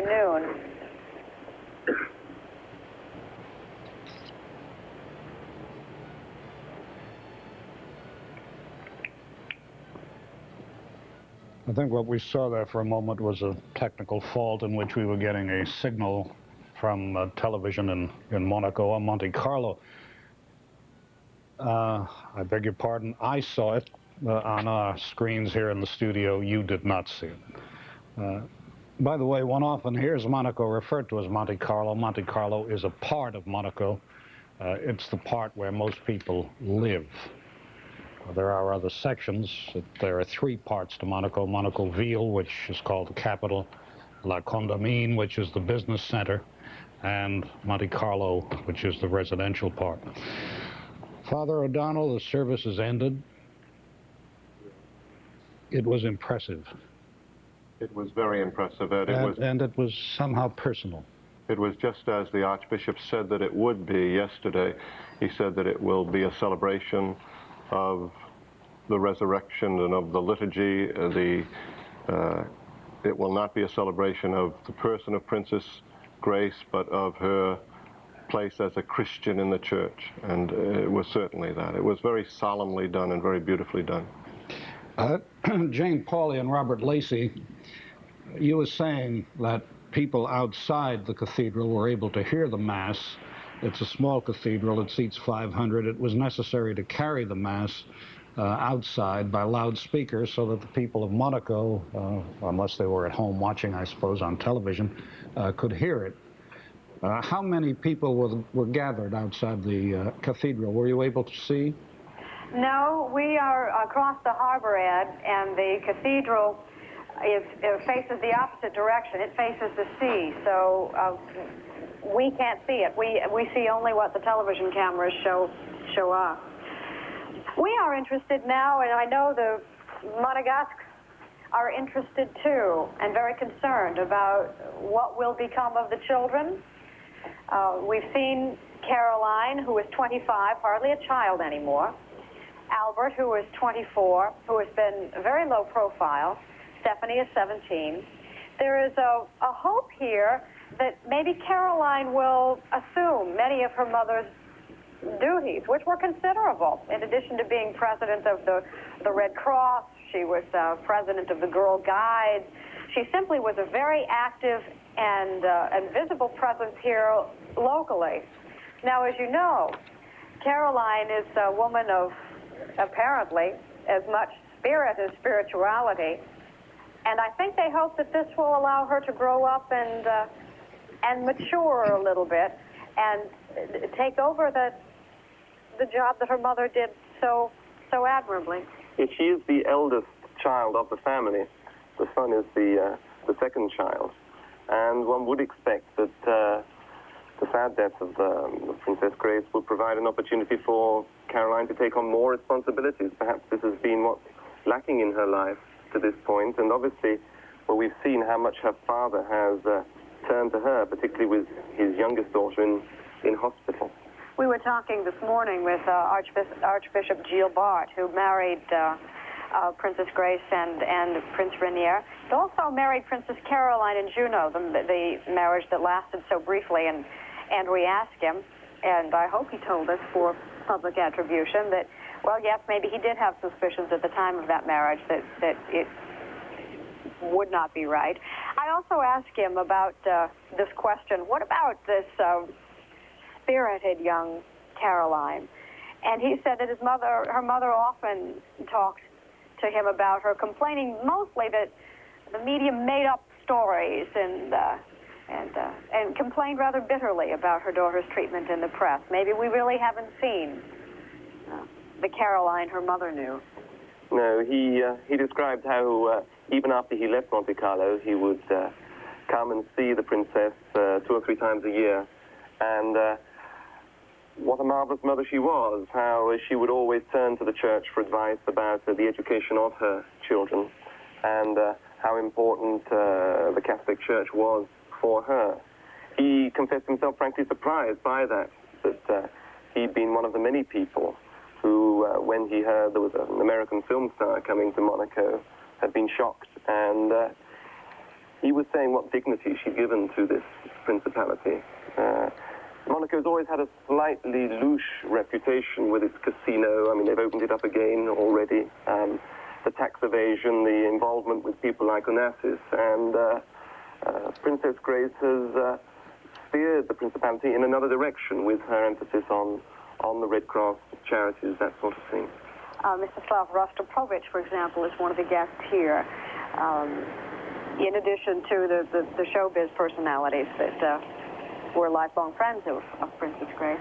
Could we talk a little bit, Robert, about uh, another of the figures that we didn't see featured so prominently in the in the camera coverage was uh, uh, Diana, who we believe was in fact sitting next to Mrs. Reagan. I was sure that looked like her hat. sitting right beside Mrs. Reagan. She left London this morning very early, 5.30 in the morning. There was worry, I know, last night at Buckingham Palace that uh, she might be prevented from getting here by mist. But, uh, of course, the day has turned out to be absolutely marvelous. Yes, indeed. Ed?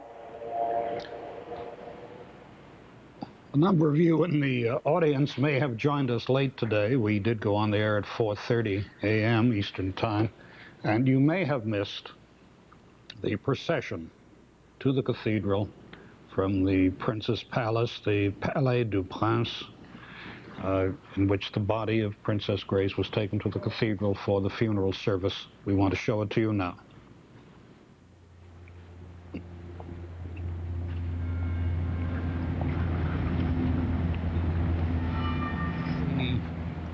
Men carrying what appear to be weapons. Perhaps they're not real weapons. Uh, we're guessing that that is because this is described as an official funeral.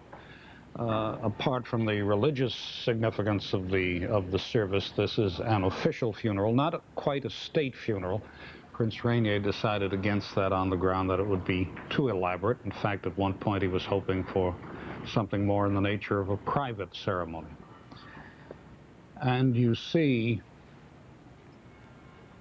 the coffin being carried by, so Jane Pauley told us, lay persons, although they are wearing clerical garb, are they not, yes, Father? Jane explained that they were members of a religious society of lay people who devote themselves to good works of charity, visiting hospitals and so forth, and uh, were honored in a special way at this time by being permitted to carry the coffin of Princess Grace.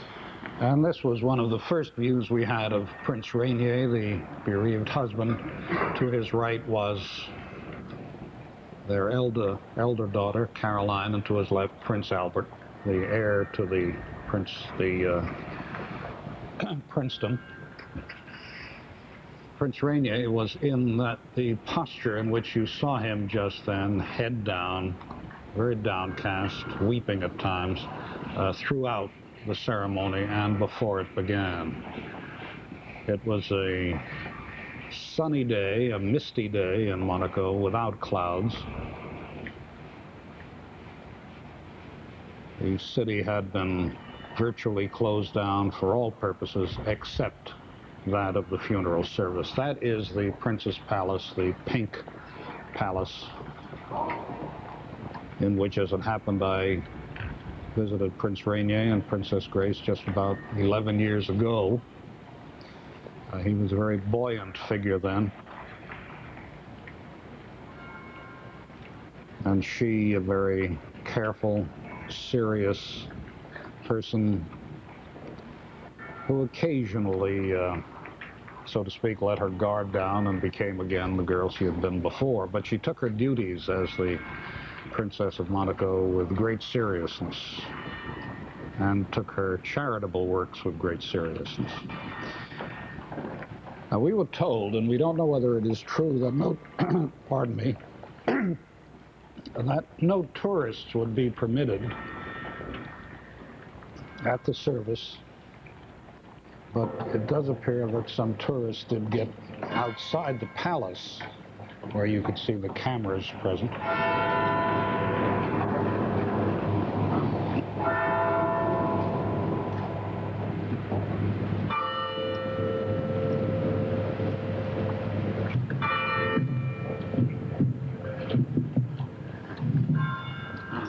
And again, you see Prince Rainier, who has been weeping, Princess Caroline weeping.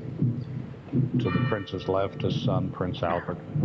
Behind him, John Kelly Jr., Princess Grace's brother. To his right and to his left, her two, her and his two sisters.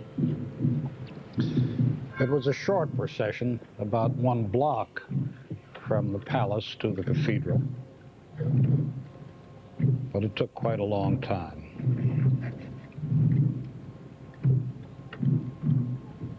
We're hearing muffled drums now, Father O'Donnell. I had not heard those earlier. I noticed them earlier. Uh, they did. Uh, they processed to that dolorous drum beat.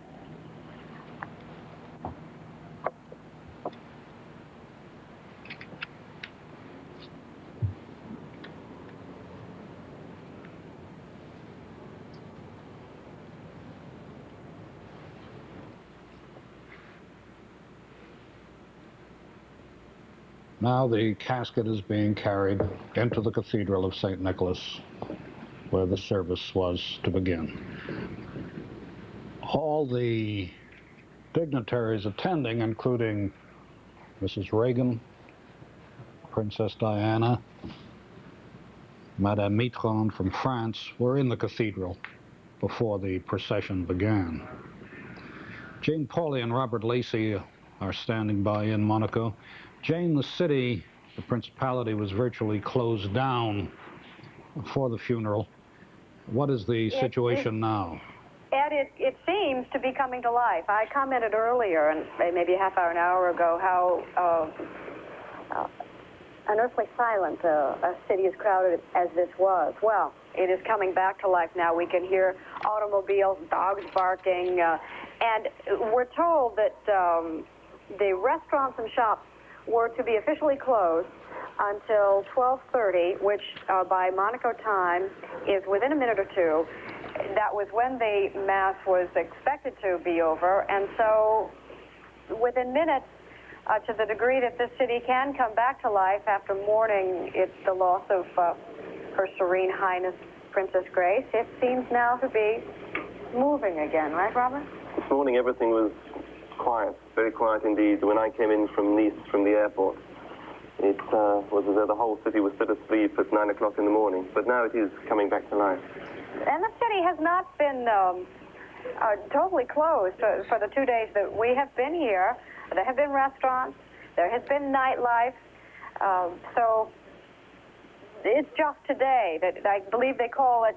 What is the, the meaning of, of holiday when they say this is a, a holiday? It simply means that it's a, a national day of, of observance. That's right. And it is. Mm. Jane, let me ask you a question on another subject, an unpleasant one as it happens, but questions have to be asked. Has anything more developed today in the controversy about the treatment, the medical treatment that the princess received, and about the medical bulletins issued by the palace, which the attending physicians have said were unjustified?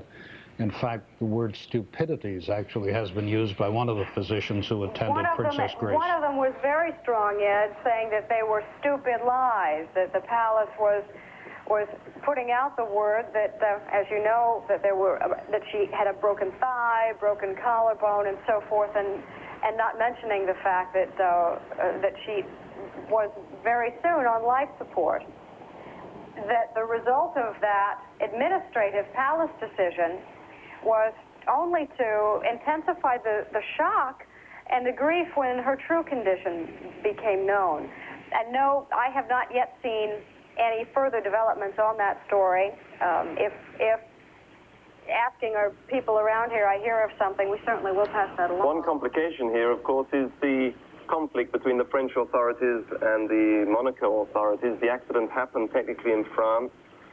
People in France are saying, well, if she'd been brought to a French hospital, we would have had the proper scanner, which uh, might have come up with the evidence sooner. Of course, the people of Monaco have another story, and Prince Rainier has been most insistent that the whole affair should be handled within Monaco. And the irony, of course, is that she was taken to the hospital that bears her name, the Princess Grace Polyclinic, I believe is the name of it. And that was the, the, the, the, the place that did, did not have the equipment you're describing. Does, does it, But it's very, does I was it, just going to say, it's very easy after the event for us all to say how much better things could have been done, but obviously with the heat of the moment, the accident being so unexpected, uh, it's not surprising there is this confusion. You know, I hadn't realized either, and there's so many tragic as- aspects to this. The, the apparent fact that uh, the stroke, if that was what she suffered while driving the car, had happened uh, at home, for instance, the doctors say she might have laid down, rested a bit, and been fine, but no, it happened just as she was approaching a treacherous turn on a very steep road. But that uh, Princess Rainier and Prince Albert had taken the same road an an hour and a half before. They were leaving the family ranch up in the mountains and returning to the city of Monaco separately. And uh, just an hour and a half before, they had traversed the same path. And it's From down virtually is, there. is above us where, from where we sit. does it remain the position that the palace has made no comment on the statements by the physicians? Um, as far as we know, n- no comment, but that's rather to be expected. You were talking before, Robert, about the notion that uh, the um, the the Prince of Monaco uh, traditionally have been accustomed to doing things their own way, and they don't expect investigation, and they No. don't really need to comment. And there's a personal element in this. I mean, the one witness who can say anything is the, the young princess who's now in hospital. And I understand that Prince Rainier is most insistent that she, while she is in hospital, should not be troubled with questions about whether she was driving the car or not, or what happened to her mother. Uh, the news of her mother's death has already distressed her enough. There has been over the years too, Ed, a, a tense relationship between the uh, the Grimaldi family and and the press. On one hand, they are grateful that Princess Grace was, um, well, it- to put it as they might, the chief tourist attraction in this town. She she was extremely important in that regard, and the media and the press and the attention was part and parcel of, of her reputation and her service as princess. And yet they were so bitter over the beginning with the, the treatment of the announcement of their engagement 26 years ago. The press were we we were mobbed. Uh, the media veritably trampled uh, the wedding that uh, happened in the, the cathedral where the funeral mass was spoken. That urns were knocked over, and uh, um, fortunately, the film record that survives shows a a serene looking bride, and, and that part isn't recorded, but it was certainly remembered. And for a time, we did not know if the Mass would be uh, broadcast on television. The arrangements were made, uh, cables began to be strung, and so forth, uh, even prior to final official approval being granted, and that approval had to come from Prince Rainier himself. Ultimately, he relented. And as far as I can tell, uh, the media 26 years later are a bit more sophisticated, perhaps, than uh, it was 26 years ago. And I, if there was any detectable presence uh, that detracted from the spirituality of the service, I'm not aware of it, and I hope I'd be honest enough to say if I was. Thank you, Jane. Another service for Princess Grace took place yesterday in her hometown, Philadelphia, presided over by John Cardinal Kroll. Uh, NBC News correspondent Mike Moss was there, and he will describe it for us now. The cathedral was filled for the memorial service. The Kelly family members who hadn't gone to Monaco were there. So were hundreds of people who came to express their fondness for the Philadelphian who became a princess. Princess was a woman of deep and living faith. She regarded self-discipline and self-sacrifice as indispensable for a happy life. Among the friends were a nun who taught Grace Kelly in the eighth grade and three women who were neighbors of the family. Princess Grace's niece, Meg, and her husband, Richard Roe, were there too. Outside the cathedral, he told of a Christmas visit to the palace in Monaco that was part of a European trip with his wife. And it was really quite a treat because we were traveling around and living not in that style. And when you live in the palace, you have your own maids and valets, and there's a staff of 100 there at all times. And it's uh, exactly like you imagine the royal life would be. She has done quite a bit for us.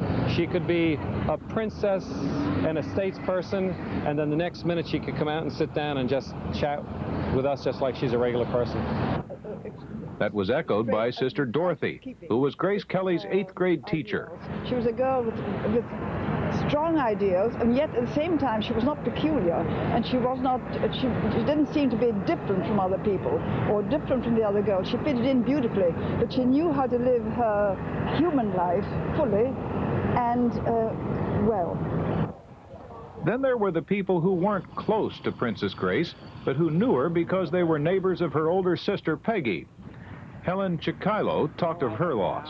I think she just loved everybody and she was loved. I mean, just like a plain princess, and it was a great pleasure to meet her, and I'll never forget. The family is loved, and she was loved so much by everyone, and people just can't believe that she's gone, so they're all showing their expression of love, I think. Great sadness because it was so sudden, and what a shock it is to the world. You were surprised very, very. I've been crying all week, ever since I heard the news. I feel like I've lost a member of the family.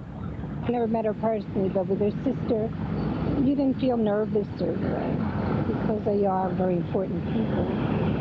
But uh, I feel very honored. There's not many people like her. She gave so much of herself. That giving was to continue early next month. Grace Kelly was to return to her hometown on October 1st to give poetry readings for charity. Now the return will have to be only in people's memories and dreams of what might have been. Mike Moss, NBC News, Philadelphia. The funeral mass for Princess Grace ended 20 minutes or so ago. Some of you may have tuned in after it had begun or perhaps even after it was finished. We want to show you now some parts of the funeral mass.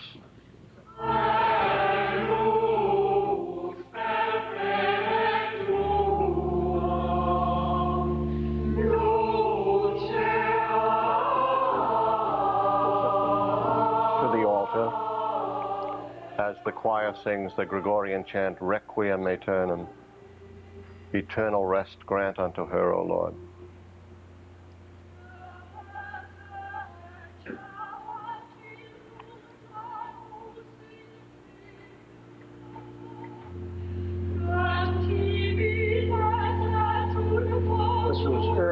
Service, which was that right at the... slightly more than uh, I think, slightly more than an hour.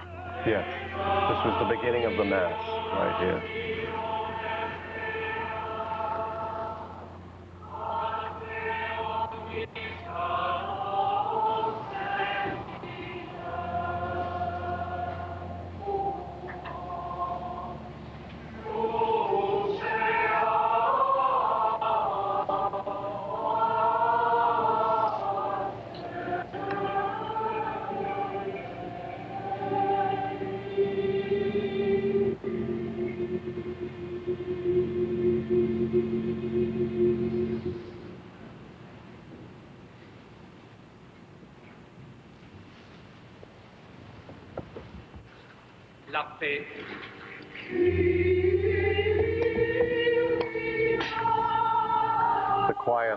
Several parts of the Mass in Gregorian chant, the ancient chant of the Requiem Mass or the funeral Mass.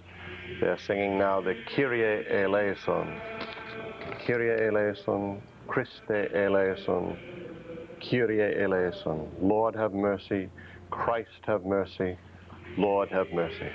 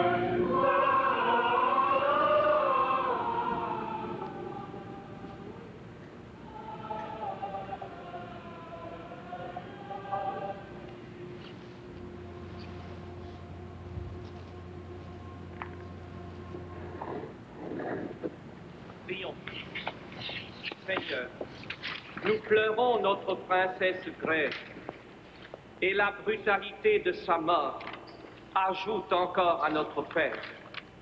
Nous t'en prions. Accorde-lui le bonheur d'être uni au Christ dans le mystère de sa résurrection et affermis notre certitude The Mass was read and recited in the French language. The Archbishop has just completed the first prayer of the Mass, in which he addressed God and told him that we were deeply crushed by the sudden death of our beloved Princess Grace. Give her now eternal life.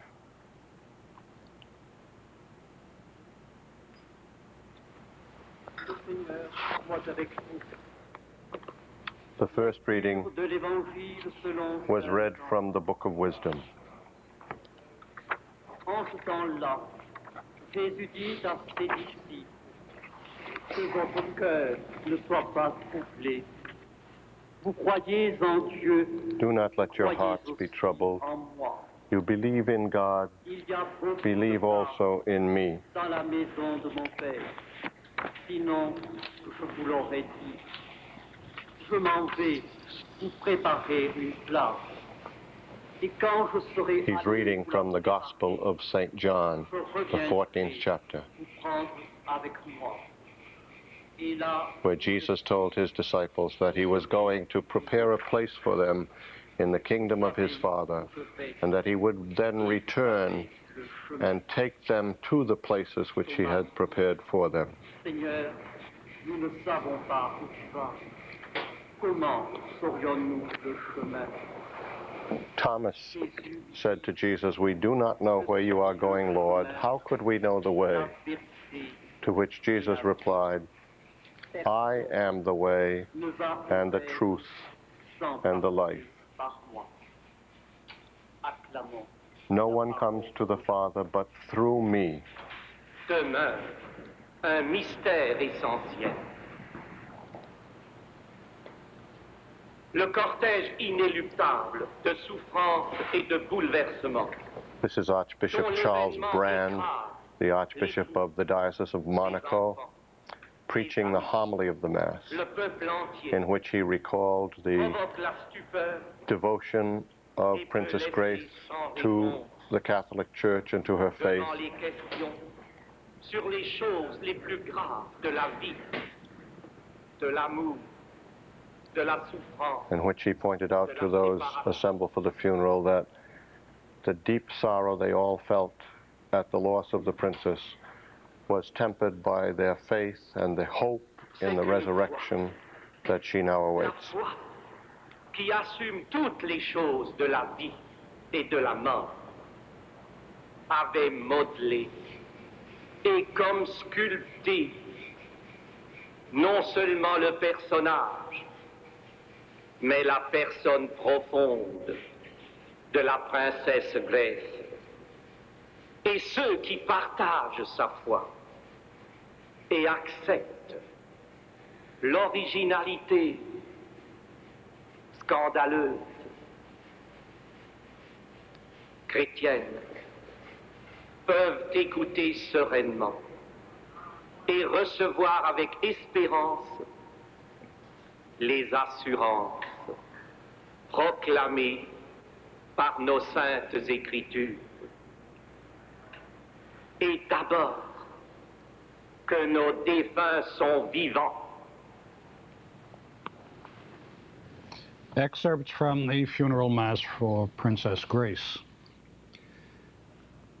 We want to talk a bit about Princess Grace now, about what she did in her life, what she accomplished. Uh, perhaps it ought to be said that when she went to Monaco 26 years ago, it was, as Jane Pauley was pointing out earlier, one of the great television events of the, one of the great events of the television era. Uh, it was something like a circus atmosphere at the time, whether she wanted it or not, whether her husband wanted it or not, there was. Uh, it did not persist, I think. Uh, Princess Grace was a, in my knowledge at any rate, my experience, very serious person. She could smile and laugh occasionally, but she tended to be uh, a rather serious and determined person. Uh, Jane, what impression do you have of uh, what she's left behind? She uh, valued her work, Ed, and she would use that word, uh, my work, my job.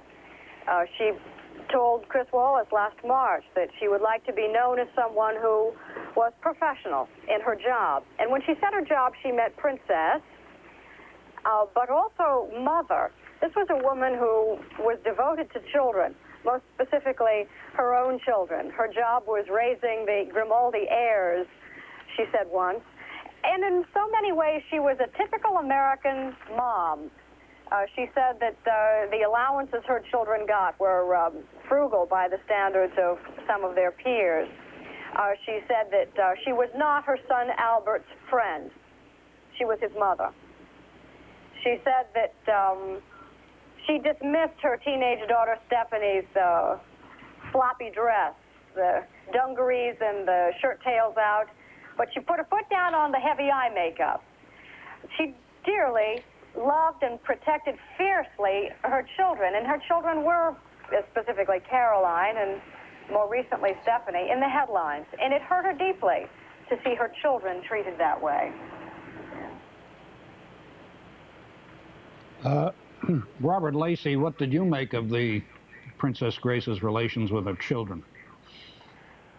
Well, uh, I know what that- I know.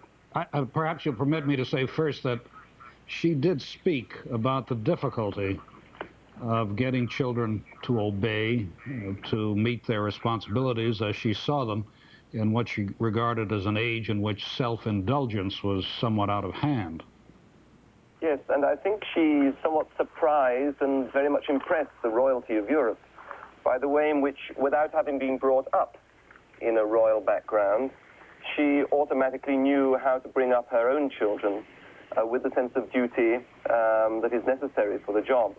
I know this is something she talked about with um, another princess, uh, the Princess of Wales. Um, that's one reason why the Princess of Wales is here today representing the British royal family because her first engagement, Lady Di's first official engagement after her own engagement to Prince Charles, was at an evening presided over by Princess Grace. And there you had these two generations, if you like, of ordinary girls, or fairly ordinary girls, touched with this special magic of becoming a princess. And uh, I know they they talked about it, and uh, Princess Grace gave uh, Lady Di much good advice. I've often wondered, Ed, how complicated it was. Um, never mind that uh, you are um, an American citizen and then suddenly you are royalty. The difficulties of being an American woman raising Mediterranean children, the spirit is different. I mean, there, there's something more in the blood, and it's different. And her children, all of them, are dark, and they favor the Mediterranean looks of, of their father. And I'm curious how she uh, instilled any of her American heritage in them. Though I read that uh, she told Caroline and reminded her often enough that Caroline had internalized it. Never forget, Caroline, that your grandfather was a bricklayer. Now, you probably don't get that kind of upbringing in a house of, of the royalty that you are more experienced. Now, that's with. true. I was rather impressed in the service by the way in which there was the piece of American music in the middle of this um, Latin service here on the side, on the edge of the Mediterranean. She created something that was very unique, um, which, as you say, was a mixture of her American roots, her personal Catholic faith, and then she took something from this principality and from royalty and made it a special mixture all her own. Her Americanism was, was a liability in terms of her uh, acceptance amongst the Europeans, or the European royalty specifically? Well, perhaps I shouldn't say this. It was to start with, and then they realized she wasn't quite as American as they'd see her. And uh, uh, she was a real lady. Uh, in um, 1976, Princess Grace and Prince Rainier went to Philadelphia to receive an award for exemplary family life from the International Eucharistic Congress.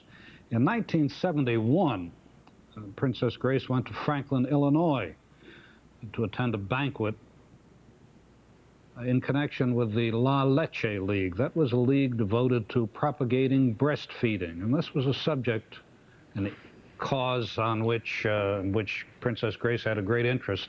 Fred Briggs has a report on that for us. When Princess Grace visited the Chicago suburb of Franklin Park and made a speech advocating breastfeeding. She addressed the La Leche League International, which promotes breastfeeding. Her audience included babies. Their occasional crying did not rattle her a bit. She was speaking as a mother, not a princess.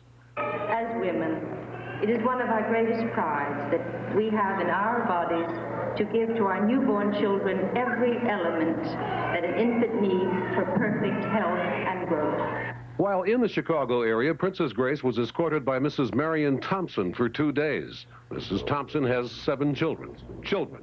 That's what they had in common. First of all, I was surprised that she didn't stand on ceremony. There was no standing back while she went ahead of you. She just treated everybody like they were as equal as she was. She spoke about the, the same kind of problems mothers have the world over. For example, uh, the problem of the oldest daughter feeling that the youngest daughter was getting away with a lot of things that she didn't get away with. And uh, the fact that when she was giving birth to her baby, the concentration on what was going on and the difficulties she had in trying to speak in French at such a, a, a suspenseful and important time. Uh, she talked about how much she liked her children and that she used to be twitted by others for liking her children so much and thinking they were so special. And I said well, if a mother can't think her children are special, you know, who else can? That visit 11 years ago was not the end of their friendship.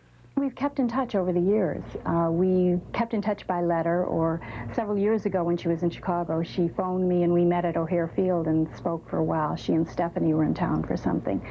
Uh, so her loss, I feel, is a very personal one, as well as a loss to everybody in the world. Fred Briggs, NBC News, Franklin Park, Illinois. We want to show you now, again, some of the parts of the funeral mass for Princess Grace. These are the parts from the latter half of the ceremony. Father O'Donnell?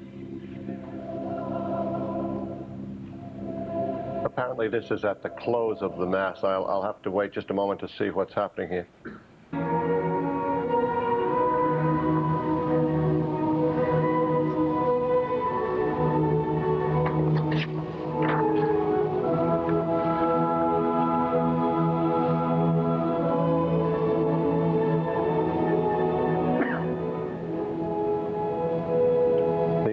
Orchestra played three closing pieces. Uh, Haydn's Adagio from the 44th Symphony, the Gregorian In Paradisum, which the choir chanted, and Fantasy in G minor by Bach. And that's the point that we're watching now.